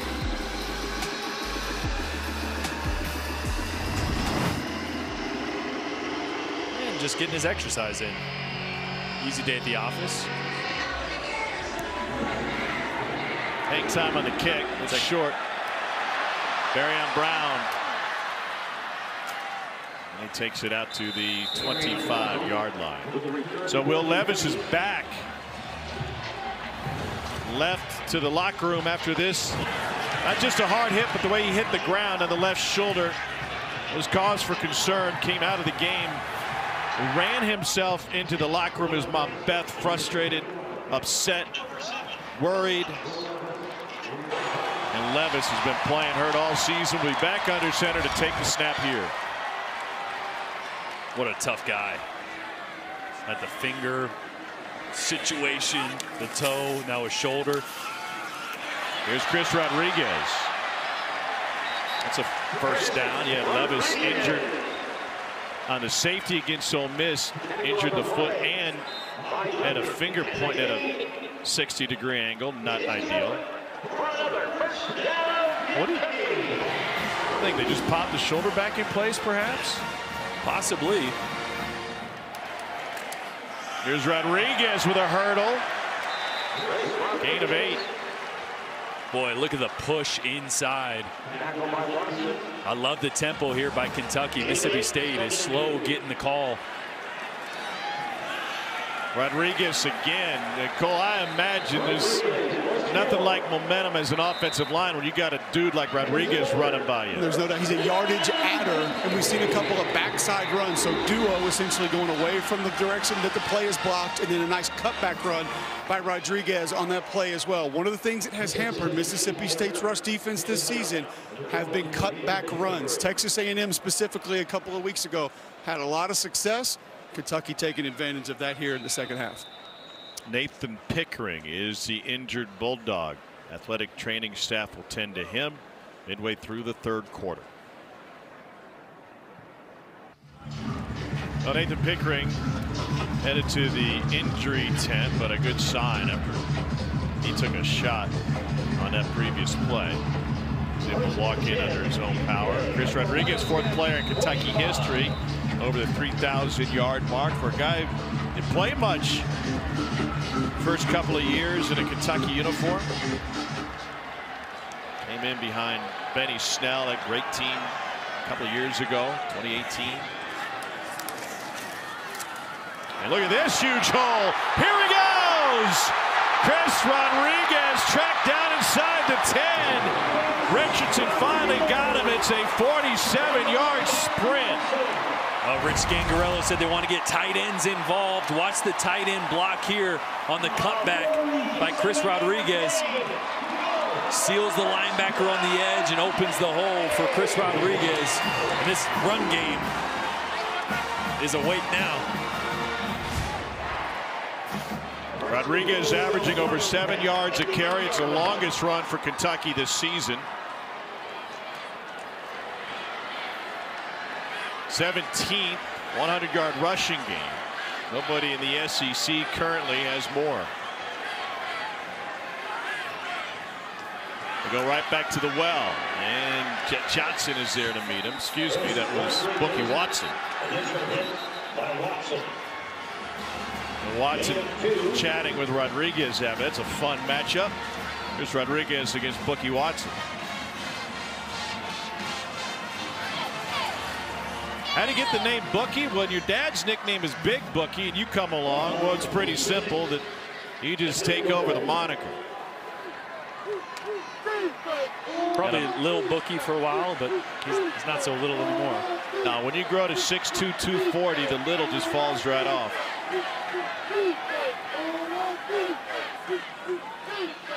Back to it. Rodriguez to the three. And that'll set up third and goal. What I mean, this is four down territory here. Yeah. Mississippi State down on the other end, going for the touchdown, picking it up on a fourth down. I feel like you hand the ball off two more times and you trust Chris Rodriguez to get get you the three yards you need.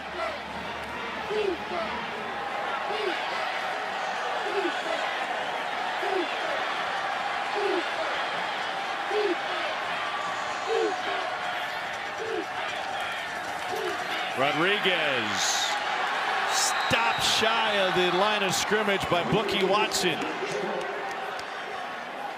And that'll set up fourth and goal. Every play on this drive has gone into the belly of Chris Rodriguez. That's a good job by Bookie Watson, slipping the block from the fullback. Yeah, I said fullback. Kentucky having three tight ends and a fullback in the game. This is where if you weren't thinking handoff, normally with the healthy Will Levis, you would think maybe a boot action, get him on the perimeter. Obviously, we saw him with the shoulder injury run back in the locker room. Let's see if they get him on the move or not.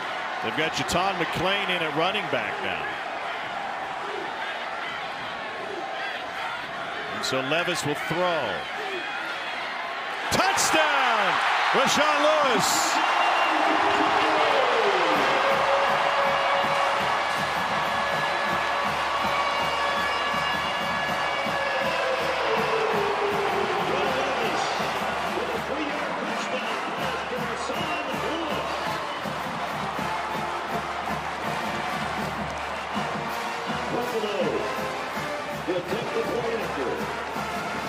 Ruffolo for the point after, after an eight-play, 76-yard drive that was mostly Chris Rodriguez. Point after is good. Great job by Will Levis of waiting for the second window, using a little shoulder roll to get Jett Johnson out of the way. You're going to see Johnson right here. He's going to work in this direction, and Will Levis is going to keep moving him with his eyes. Watch the little shoulder roll that gets that action to open up that second window throw. Those are the little crumbs that NFL scouts love to see. Manipulation of the defense, hanging in the pocket, waiting for the second window to open up. You see there the shoulder roll, moves the linebacker, opens up that second window slant. And I love the trust Rich Scangarello has in his quarterback. Coming off a big injury, ran to the locker room, got his shoulder fixed up. He's got a toe injury. He still dials it up on fourth down and trusts him to make a big time throw. First career touchdown for Rashaan Lewis. That was an eight-play, 76-yard drive, and Chris Rodriguez carried the mail. Seven for 73 on that drive. Buckle up. We might have five or six more touchdowns here in the second half, you know? What you said for all of you weren't interested in the offense you got in Knoxville. Big chance for a return. Busting to the outside. And Tulu Griffin takes it past midfield. A flag on the play. Back at the 32. As it stands, a 58-yard return.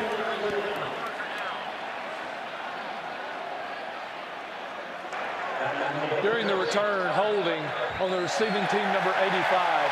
10-yard penalty, first down.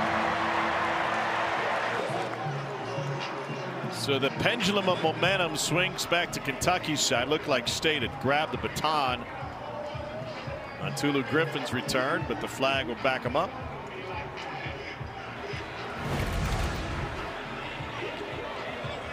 See in the top of your screen right there. Great position, but just a half a second too long. Got to let him go a little earlier. Let's see if Mississippi State can build off the momentum on the intermediate passes they built last drive. Incomplete. Justin Robinson, the Georgia transfer, the intended receiver.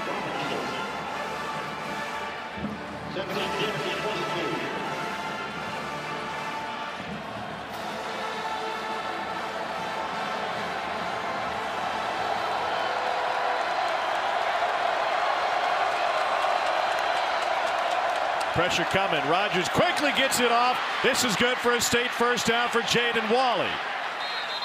And he'll get it past midfield after all.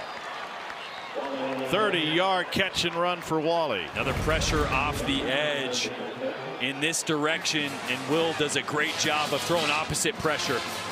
You're going to get a movement from that backside linebacker. He's going to expand because pressure is coming from the opposite side and you replace with that slant route. On second and 10, Woody Marks. Eight of three.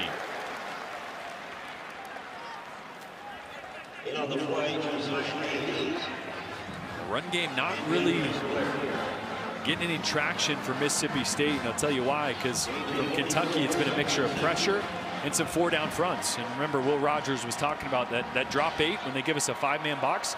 I'm going to check a pass to a run, but he hasn't had too many four or five man boxes that he sometimes gets in that drop eight. So Kentucky not giving Will Rogers clean looks before the ball snapped. And we got whistles and a flag. Let that play go for a minute, but it was a false start penalty. Prior to the snap, false start on the offense, number 18. That's a five-yard penalty, and it remains second down. That came from Robinson, the wide receiver. What a difference a year makes in this Mississippi State run game. Yeah, again, talking to the staff. Last year, a lot of just traditional three down, drop eight, so the box was light. They're able to run the football a ton. This year, Brad White doing a really good job of mixing things up confusing Will Rogers a little bit at the line of scrimmage as you see here. Look at all these guys in and around the line of scrimmage. That's not your typical look of drop eight, even though they get to it right there. To the check down and a beautiful tackle on Simeon Price after a pickup of four. Eric Jackson came in for the stop. That was something that they didn't do a great job of last year.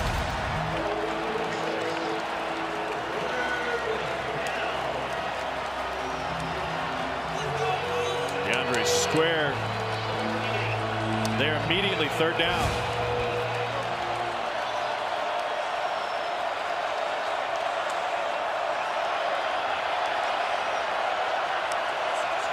Movement on the left side. Will Rogers not happy. False start on the offense, number 66. That's a five-yard penalty. It remains third down. Nick Jones moved. And some of that offensive line shuffling. Nick Jones playing out there at left tackle, working on Jordan Wright. Kentucky's best pass rusher. Just trying to get a little jump early. And now exactly where Kentucky wants to be. With Mississippi State facing a third and really long. State just three of eight on third down tonight. They bring four, almost got to him. And well short on the completion to Price. Picked up five. They will keep the offense on the field. It's not just that Leach is going for it more in kicking situations, but also punting situations, and now they'll make the shift. Like they've gone for it in their own territory three times, converted it twice. Archer Trafford. I think if that was fourth and five, he might go for that. Yeah. Fourth and four, but seven just a little unappetizing. Barion Brown set to receive.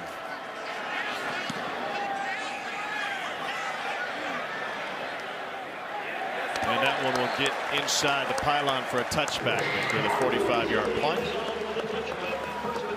35 seconds left in the third quarter. Here's our hometown connection brought to you by T-Mobile. And we focus in on Dane Key, who was born right here in Lexington. His parents, Dante and Nicole.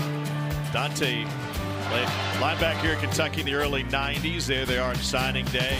Picked Kentucky over schools like Oregon, Michigan, and South Carolina. Was good in high school, good here too. Mom and dad in the stands. Go back to the Florida game. By the way, that was him in his dad's jersey as a kid. He told us yesterday, I had to, I had to try to emulate the mean mugging for the camera because that picture's been around for a while. There's a big win on the recruiting trail for Mark Stoops, and here's JuTahn McClain, and that's a big run on first down. Pick up a 15. Mom Nicole in the stands. Shane Beamer said, I had a feeling we're probably going to lose her, uh, lose Dana as a recruit when mom broke her tailbone jumping onto the field after the Florida win last year.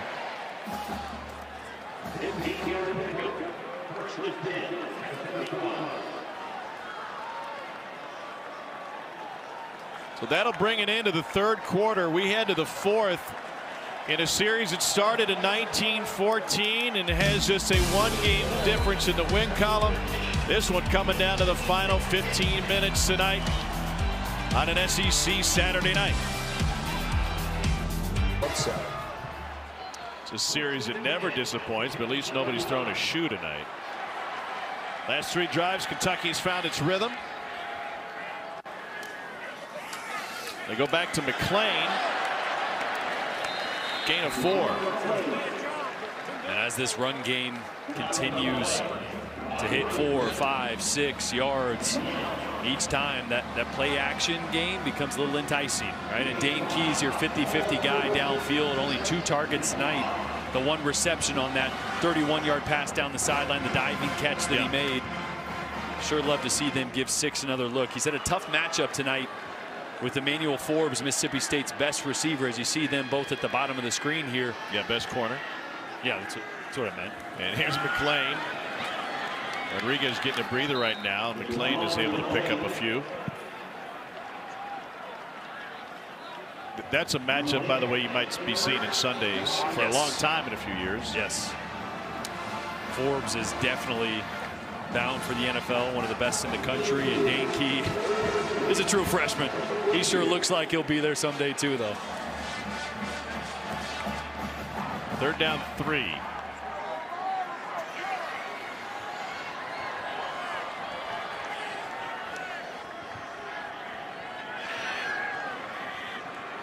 Pressure coming from both linebackers. Levis tipped at the line of scrimmage. Incomplete. And there's a flag.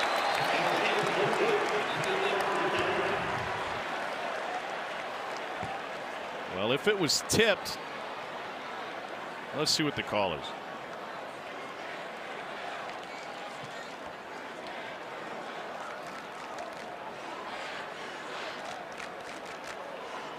Prior to the pass being thrown, holding on the defense, that's a 10-yard penalty from the previous spot, and it carries an automatic first down.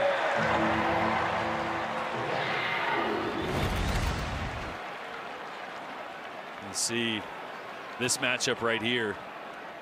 Yeah. Yeah, just timing of that the key if it came after the pass was tipped. Yeah, Matthews grabs the the hip there right before even ever starts getting downfield about six yards deep. So definitely happened there before the tip. Good call by the refs. Seventh Kentucky possession all across midfield, but only 13 points to show for it. And Chris Rodriguez back on the field picks up one. It's another meeting of him and Watson.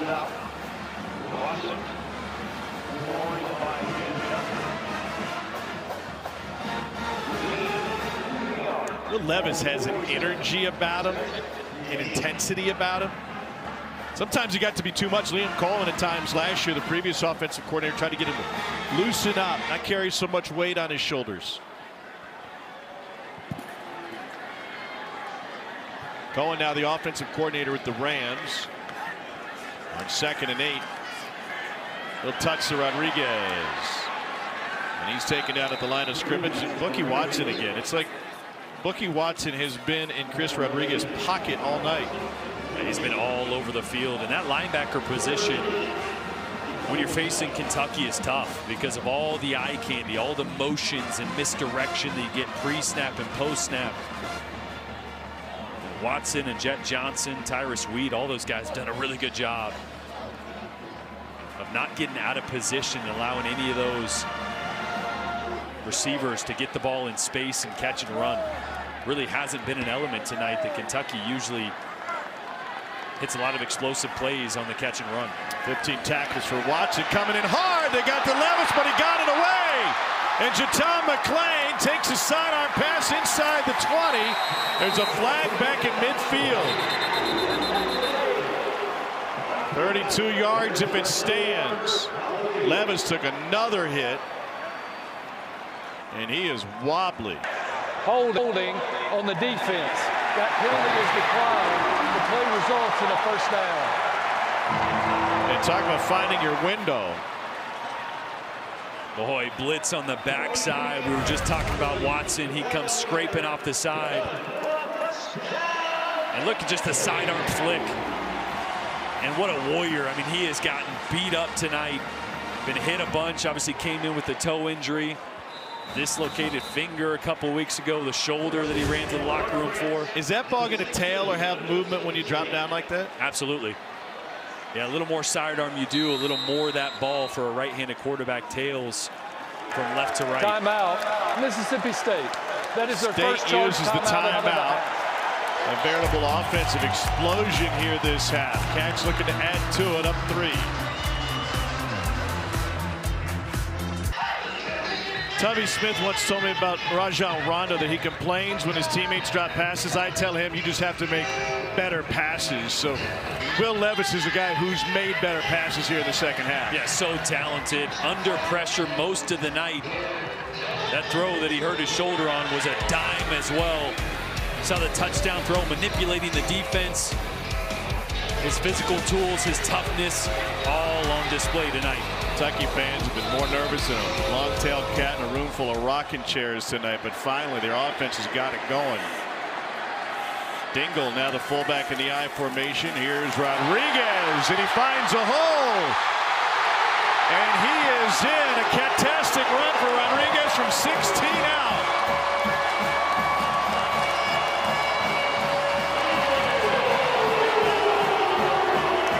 Real recognize real, they say.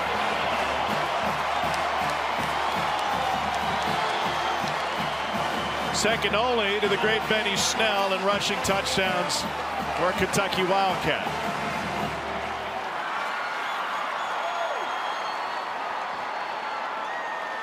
So Kentucky has seized momentum, but plenty of time left for the air raid.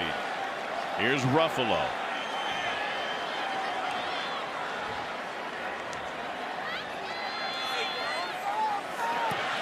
Good hold after a low snap. What a physical gap scheme run. Down, kick out, pull around, and let Chris Rodriguez do the rest. But she got banana phone. Tashawn Manning's going to pull from the backside. You're going to get a kick out block. And then watch number 10, Chauncey Magwood, come to the screen at the very end right there. Just getting in front of the corner, Emmanuel Forbes, to make sure Rodriguez had that extra space to finish it off. And that five-time All-Star loves you. He wasn't filming it? You gave up? You missed the touchdown, Rajon. Come on. All about timing. Speaking of timing, yours was pretty good today. You're in Knoxville this morning, and our friends at Wheels Up, they traveled easier. They got you from Nation to the Bluegrass. In about 36 minutes. Quick little jump. Yeah, that ain't bad. Just in Just time for a coffee and a breakfast burrito. Compliments of Cole. Yep.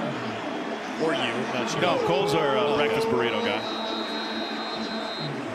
Hydration, applesauce for Chris Rodriguez. Mississippi State has been a come from behind team. We know they have the firepower to get it done. How does a 10-point advantage impact the way Brad White would call the defense here early in the fourth quarter? I got all sorts of flags. As they sort this out, I think it gives Brad White an opportunity to be a little more conservative, get a little more into that traditional drop eight. But I, I would hesitate of, of doing that entirely because what has brought you success is some four down pass rush, some simulated pressures, and at times bringing full on blitzes off After the, the play was over, personal foul on the kicking team number 20, unnecessary roughness. 15-yard penalty being forced. Carries a first down. I won one flag on the play. Four different guys in stripes pulled their flag out on that one. If you got it, toss it. Yeah, I guess.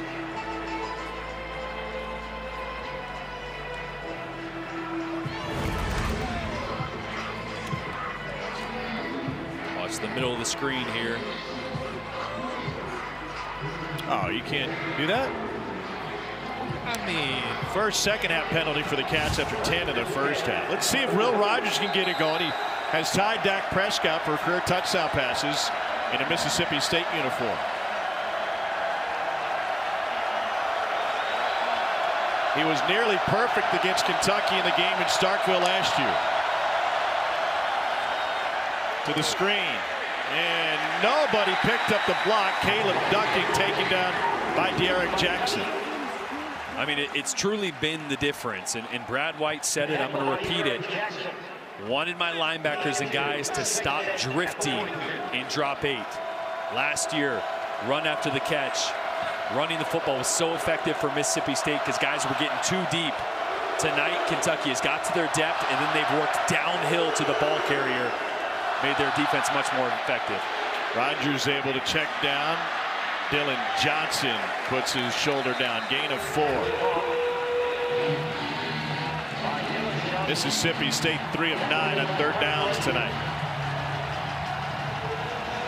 Four down territory likely, right? And their third down guy has really been Austin Williams tonight. Number 85 in the slot for Mississippi State right here. He's been working on a lot of crossing routes.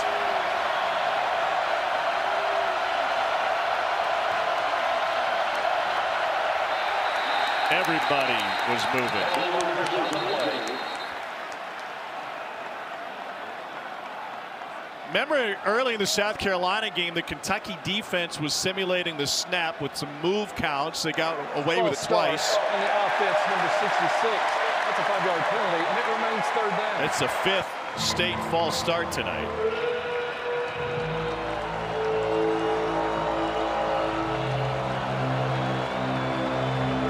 And that'll change things.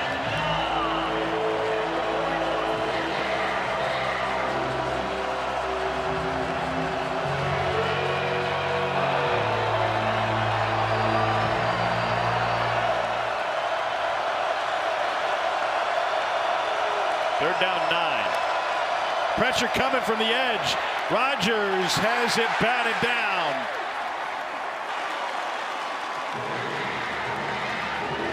Andrew Phillips got back there in a hurry. And they'll have to punt it away. Another third and long blitz from Brad White. The aggressiveness, you love to see it. And what makes this so difficult is Kentucky is waiting till the last second to trigger those blitzes. They are not giving Will Rogers any indication before the snap that it's anything other than drop eight. And sometimes it's not just the quarterback, it's the wide receiver who needs to read that too. And he Yeah. was waiting for Austin Williams to holler at his roommate thinking that he didn't run the right route. Those sight adjusts, right? Those built-in sight adjustments that need to be made on the fly. George Georgopoulos shanks the punt. Ooh. Was an understatement. Is that for the brand? Not representing the brand. McAfee, turn away. Watch a future first rounder, Terrence Beth and Mike Levis, and now their son having as an awesome opportunity with a short field after a four-yard punt. Levis, according to Mel Kiper Jr., the number four overall prospect for the draft.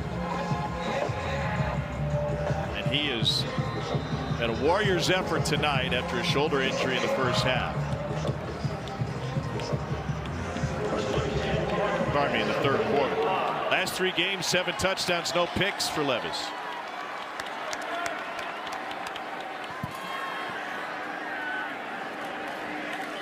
On the draw, here's JuTahn McClain. Gain of two. This is where the big blue wall, this offensive line's got to take over the game. This is where in years past we've seen Kentucky thrive at Yeah. just bleeding the clock, committing to the run game, picking up three, four, five yards, and converting first downs. Made in the mold of that Youngstown native's personality. Three wide receivers in now. Lewis, Brown, and Key. And a drop by Lewis.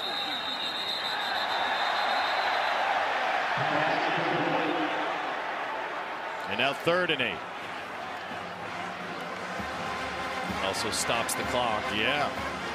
I don't hate the call, though, right? I mean, you got an NFL caliber quarterback. It's really an extension of the run. You'd like that to be 99.9% completed. But exactly what Mississippi State wanted after a terrible punt, like you mentioned, four yards. See if they can get out of here in a three and out.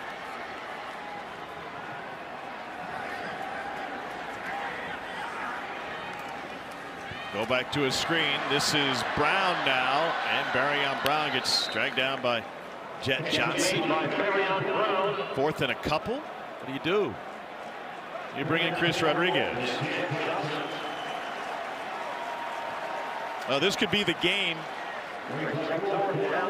with a two-score lead and a chance to pick up a first down and really get this thing late.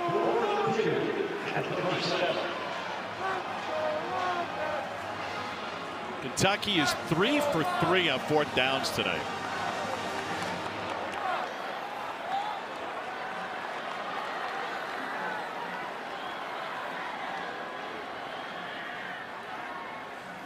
Levis to throw, and he's picked off.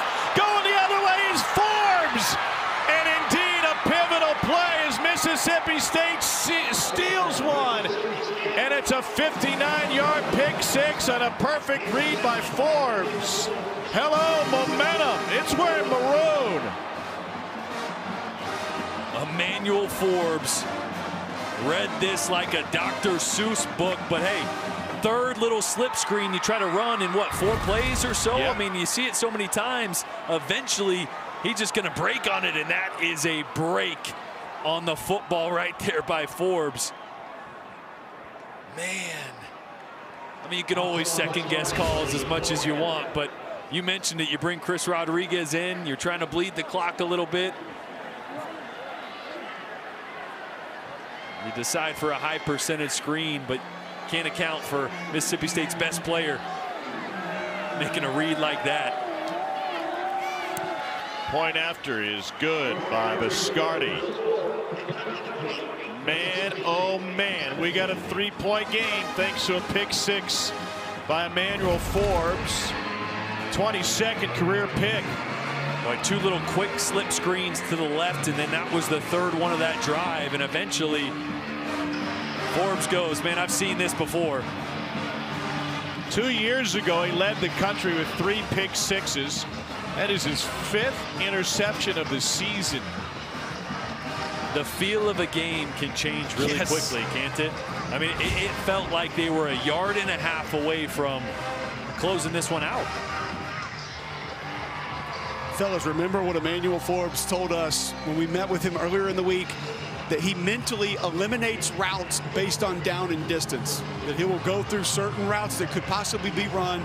He'll look at the sticks and he'll begin to eliminate those, obviously to give him opportunities to jump one like that. And it's the visual cues, right? The short little motion there right before that snap cues that that corner playing outside leverage, playing off with eyes on the quarterback, that it could be a quick throw.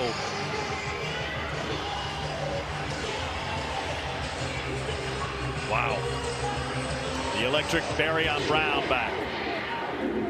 And won't have a chance here. This season, for every field goal and extra point made by participating universities, Allstate will make a contribution to the university's general scholarship fund. Thank you, Allstate. You Cole, we met with Will Levis yesterday, and he talked about kind of his need for perfection and the inability to let bad plays go. He's got to let that one go. There's no doubt. Have to be just mentally have to move on. You can see him right there looking over at the coaching staff, just kind of want a different play, uncertain, very tense moment right now for Will Levis. They've got everybody stacked within five yards of the line of scrimmage. Cover zero. And he hands it off to Rodriguez. A little hurdle, he's able to pick up a dozen on first down. Well, another little gap scheme run. Pulling the backside guard around, kicking out with the tight end. Cole have really leaned on that that concept here in the second half. I think what's happening is we've seen this defense even itself out a little bit. You're not going with many odd looks, more four down fronts.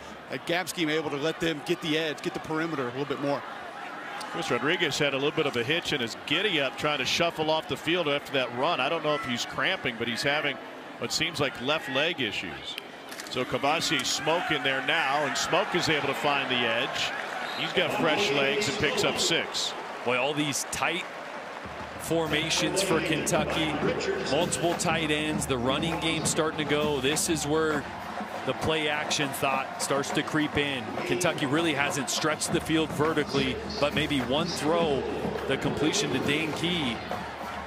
At some point, you got to at least show it again. Yeah. Right? Because Mississippi State getting really tight in around the line of scrimmage. I mean, sorry, Mississippi State. Maybe that's what I said. but you see everybody here but one player within about five yards of the line of scrimmage. You have as many voices in your head as I do. Smoke changes direction. You know, I'm, I'm trying to look and operate the the telly here. What's going know, on, man? You kidding me? To quote the the great White Goodman, we're sweating like grease monkeys out here. I can't hold on to a ball. A little dodgeball coming at you here in the fourth quarter. Anyway, 6:44 Duck, left in the game. Dive, dip. You can dodge a wrench. You can dodge a ball. Third and four.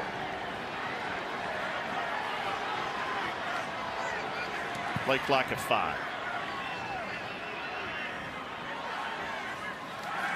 Levis has time, lets it go. Caught! Dekel Crowdus and Kentucky knocking on the door again. 50 yard gain.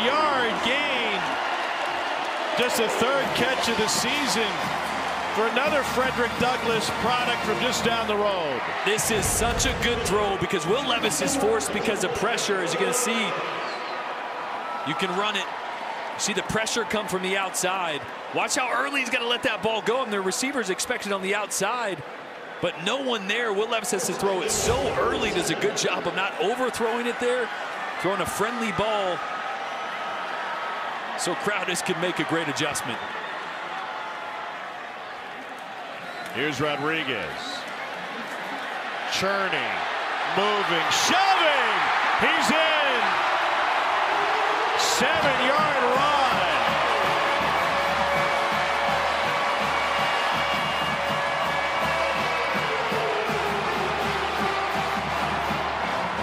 Two weeks ago, Kentucky was a top 10 program. Then they gave the game away at Ole Miss with a multitude of mistakes in the red zone. And after the Levis pick six looked like they had given away momentum, they have seized it back thanks to the 50-yard pass to Crowdus. Play is under review. And then another Rodriguez run, and they will take a look and see if he broke the plane before his knee was down. What a statement drive there by Kentucky. Finished off with the physicality here. Chris Rodriguez. Some linemen helping him. Let's see if he crosses. Knee was down. At what point did that ball touching in the white line? See if we can see when his knee goes down. Right there.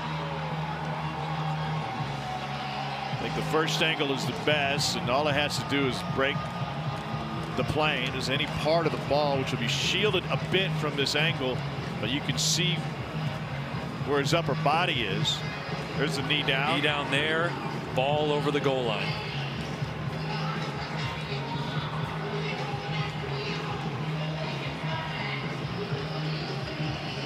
Boy, Kentucky just kind of lulling Mississippi State to sleep there, right?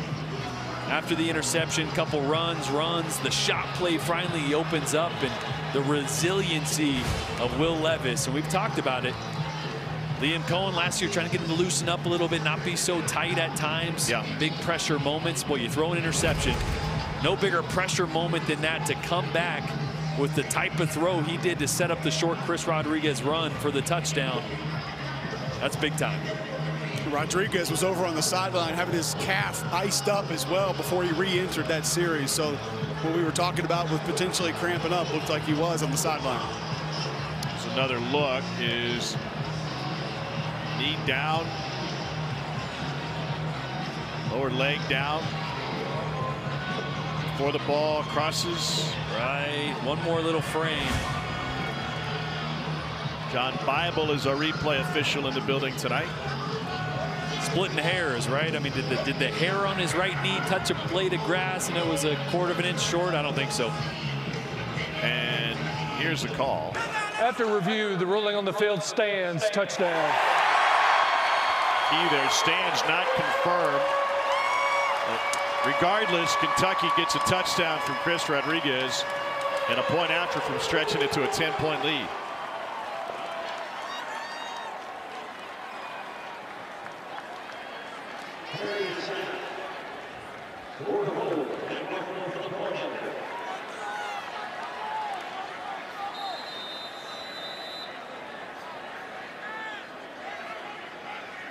Here's Ruffolo. Chance Poore, the holder. Poore, good job handling that one again, and the kick is good enough. Cats by 10. Well, the pressure on Will Levis has been there all night. Man, we need to get one of those. Get Can we get a couple of those up here? Couple ice bags up here. How about the throw, giving his receiver time to adjust? And then the physicality of Chris Rodriguez. After the interception, stretching this lead back to 10 is Kentucky.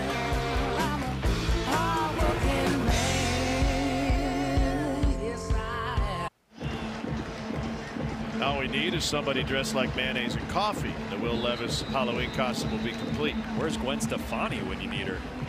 This game's B-A-N-A-N-A-S.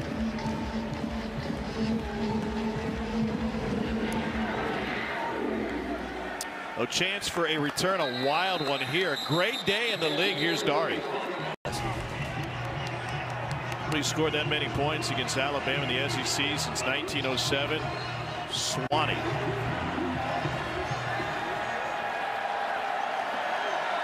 Shortly thereafter, Bama would have him kicked out of the league.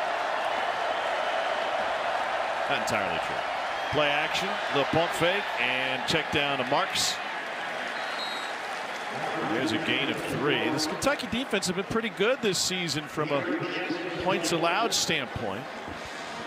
Held the last 10 to 24 or less. It's the longest streak since 1980. Second and seven. Rogers on the run. They're all over Jaden Walley.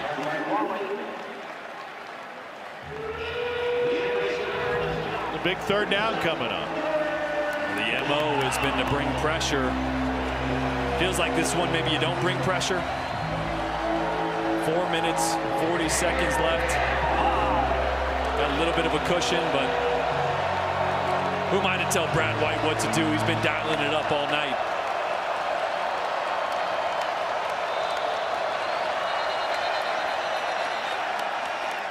Man, oh man. False start on the offense, number zero.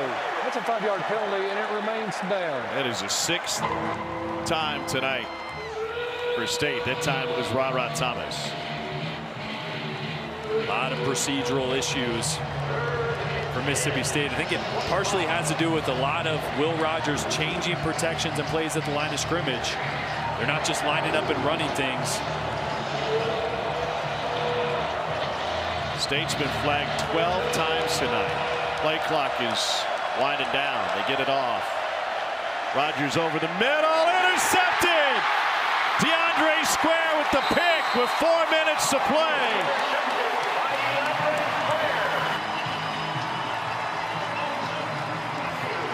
Well, what a play by Square. A seam route up the middle. He's just carrying it and Will Rogers is at that point where he's looking up at the scoreboard knowing they're down two scores. He's got to try to make something happen. That is a forced throw.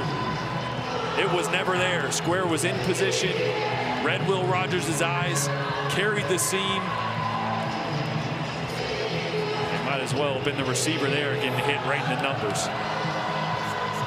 Will knows it, just forced that one. It's been a frustrating day. He's been taking what Kentucky's been giving him. Short throws, dink and dunks, getting hit with pressure. Finally forced one. First pick of the season for Square. Back to Chris Rodriguez, who got the double ice bag rub down. He's able to pick up one.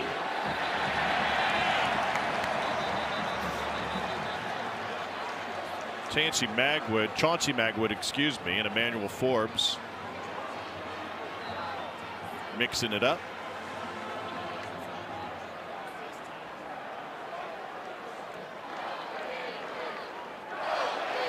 Forbes frustrated, but he had what looked like the play of the night for State, a 58-yard pick six on a third and short.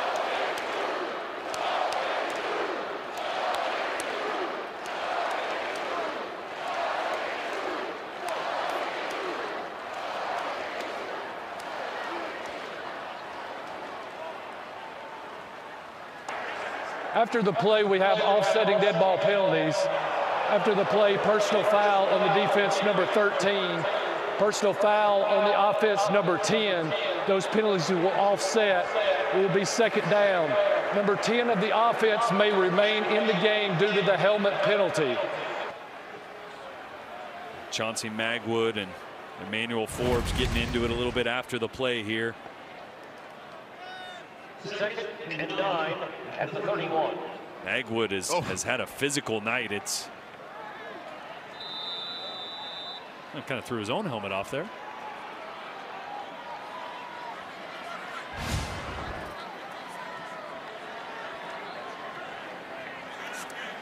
Like a base runner in baseball, you know, making a play at home, throws his helmet yeah. off before he rounds third. Or like Bryce Harper heading into second. Yeah. You got to show yeah. off the locks. Kavosiey Smoke. No game. Oh, man. State visibly frustrated. We'll see if it was the first or second offender who's going to get flagged this time. Emmanuel Forbes trying to get his guys together and calm them down. What do you think Mike Leach is thinking about right now? Balance. Just going to block. Just just getting a block.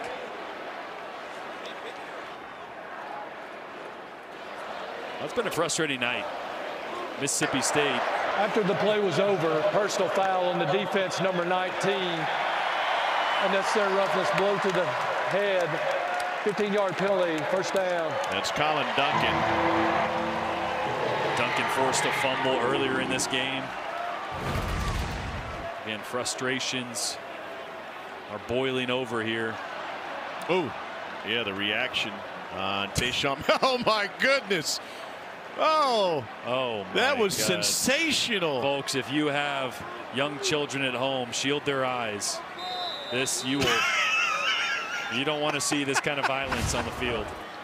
We just hope Tashawn Manning's okay after that one. we will not show it again. Yeah, we will. Maybe we will. Colin Duncan must have the most powerful right hand known to man. Took down the 300 pounder. Here's Rodriguez. Well, I'll tell you what, two Kentucky tight ends just took a defender about 14 yards over to the corner of the sideline and almost in the end zone. Josh Kattus, one of those guys. Yeah. 84 there, young true freshman tight end that the staff has been raving about. Not the biggest guy, but you mentioned it, Cole. Little double team took a defender out of bounds. He is physical, and they're excited now that he's healthy. Drake Jackson told me before the game, former Kentucky center who's on staff, they call him cattle. Just love the way he operates. Said he is a pest in the run game. Play clock zeros on the snap. Here's Rodriguez. Pickering back on the field comes up with the tackle. First and goal now. Again, this is you after your Shield stand. the eyes of your small children. That is just brutal. I love the two hands up too. Like, see, you see that? Third and short. Did not give him the first down on that spot.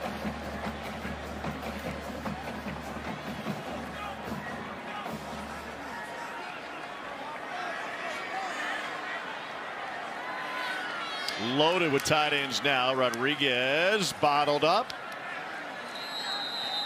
And he loses a yard. Timeout taken. With 90 seconds remaining in regulation, State down 10. Fighting Mike Leach's need a miracle.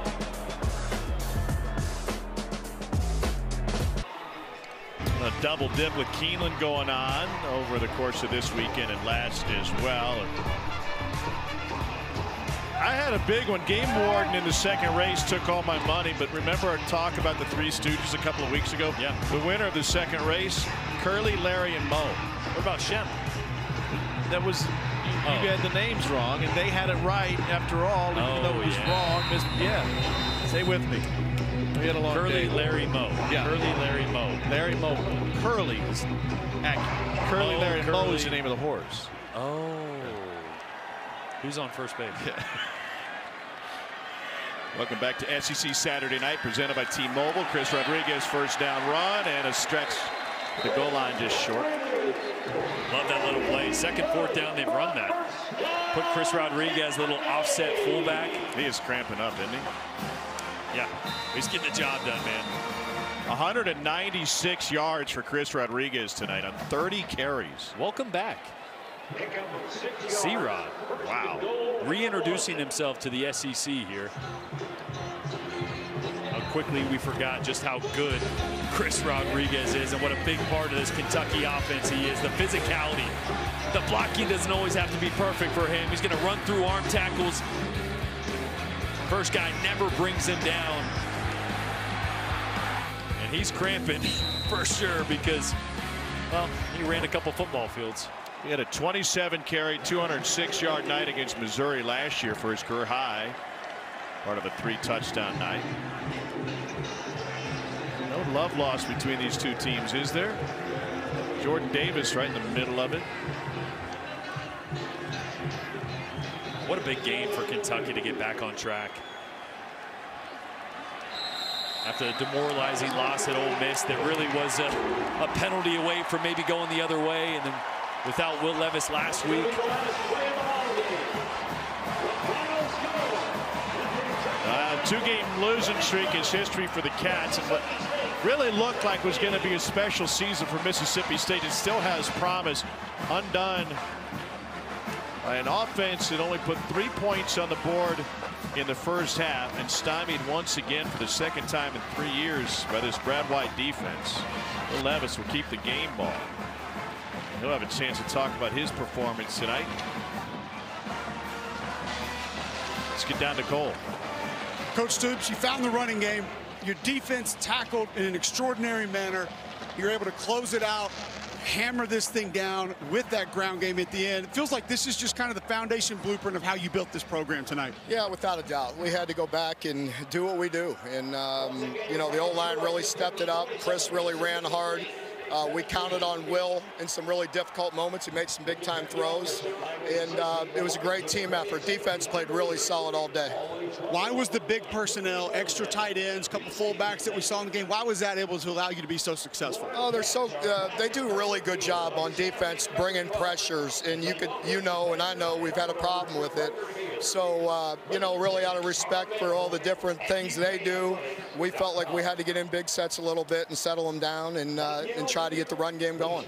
You're standing on the sideline. You see your quarterback go down. You see him get up. He grabs his shoulder again. Then he goes through the locker room. Then he sprints back out. I just want to know emotionally what was going through your mind when all that was taking place. Without a doubt, um, you know, he took a good shot, and our trainer right away wanted to look at it. He took a good hit with the AC joint. They had to go in and make sure that the the uh, X-rays were negative and nothing was out of place or broken or anything like that. But I knew if it wasn't broken, that guy would be back. Coach, I hate must-win games when people say that. This felt about as close as it was, though, for your program. Why were they able to bounce back the way they were tonight? I, I don't. I mean that that you know that was seven years ago where I felt like that. But every game in this league's a must-win. It's tough. You know, it's very difficult. Um, I wasn't very proud of the way we played a week ago. Um, but we, you know, you're going to have some ups and some downs. You got to be tough and resilient and bounce back. And uh, we knew we had a really good opponent coming in here today, and we had to play some really good football. Thank you, Coach. Thank you. A great effort for this Kentucky program as a whole, including Chris Rodriguez, 30 carries, a buck 96, two touchdowns. Will Levis gets the honor of visiting with Cole. That'll come your way in just a moment. But first, our friends in the studio, led by Dari.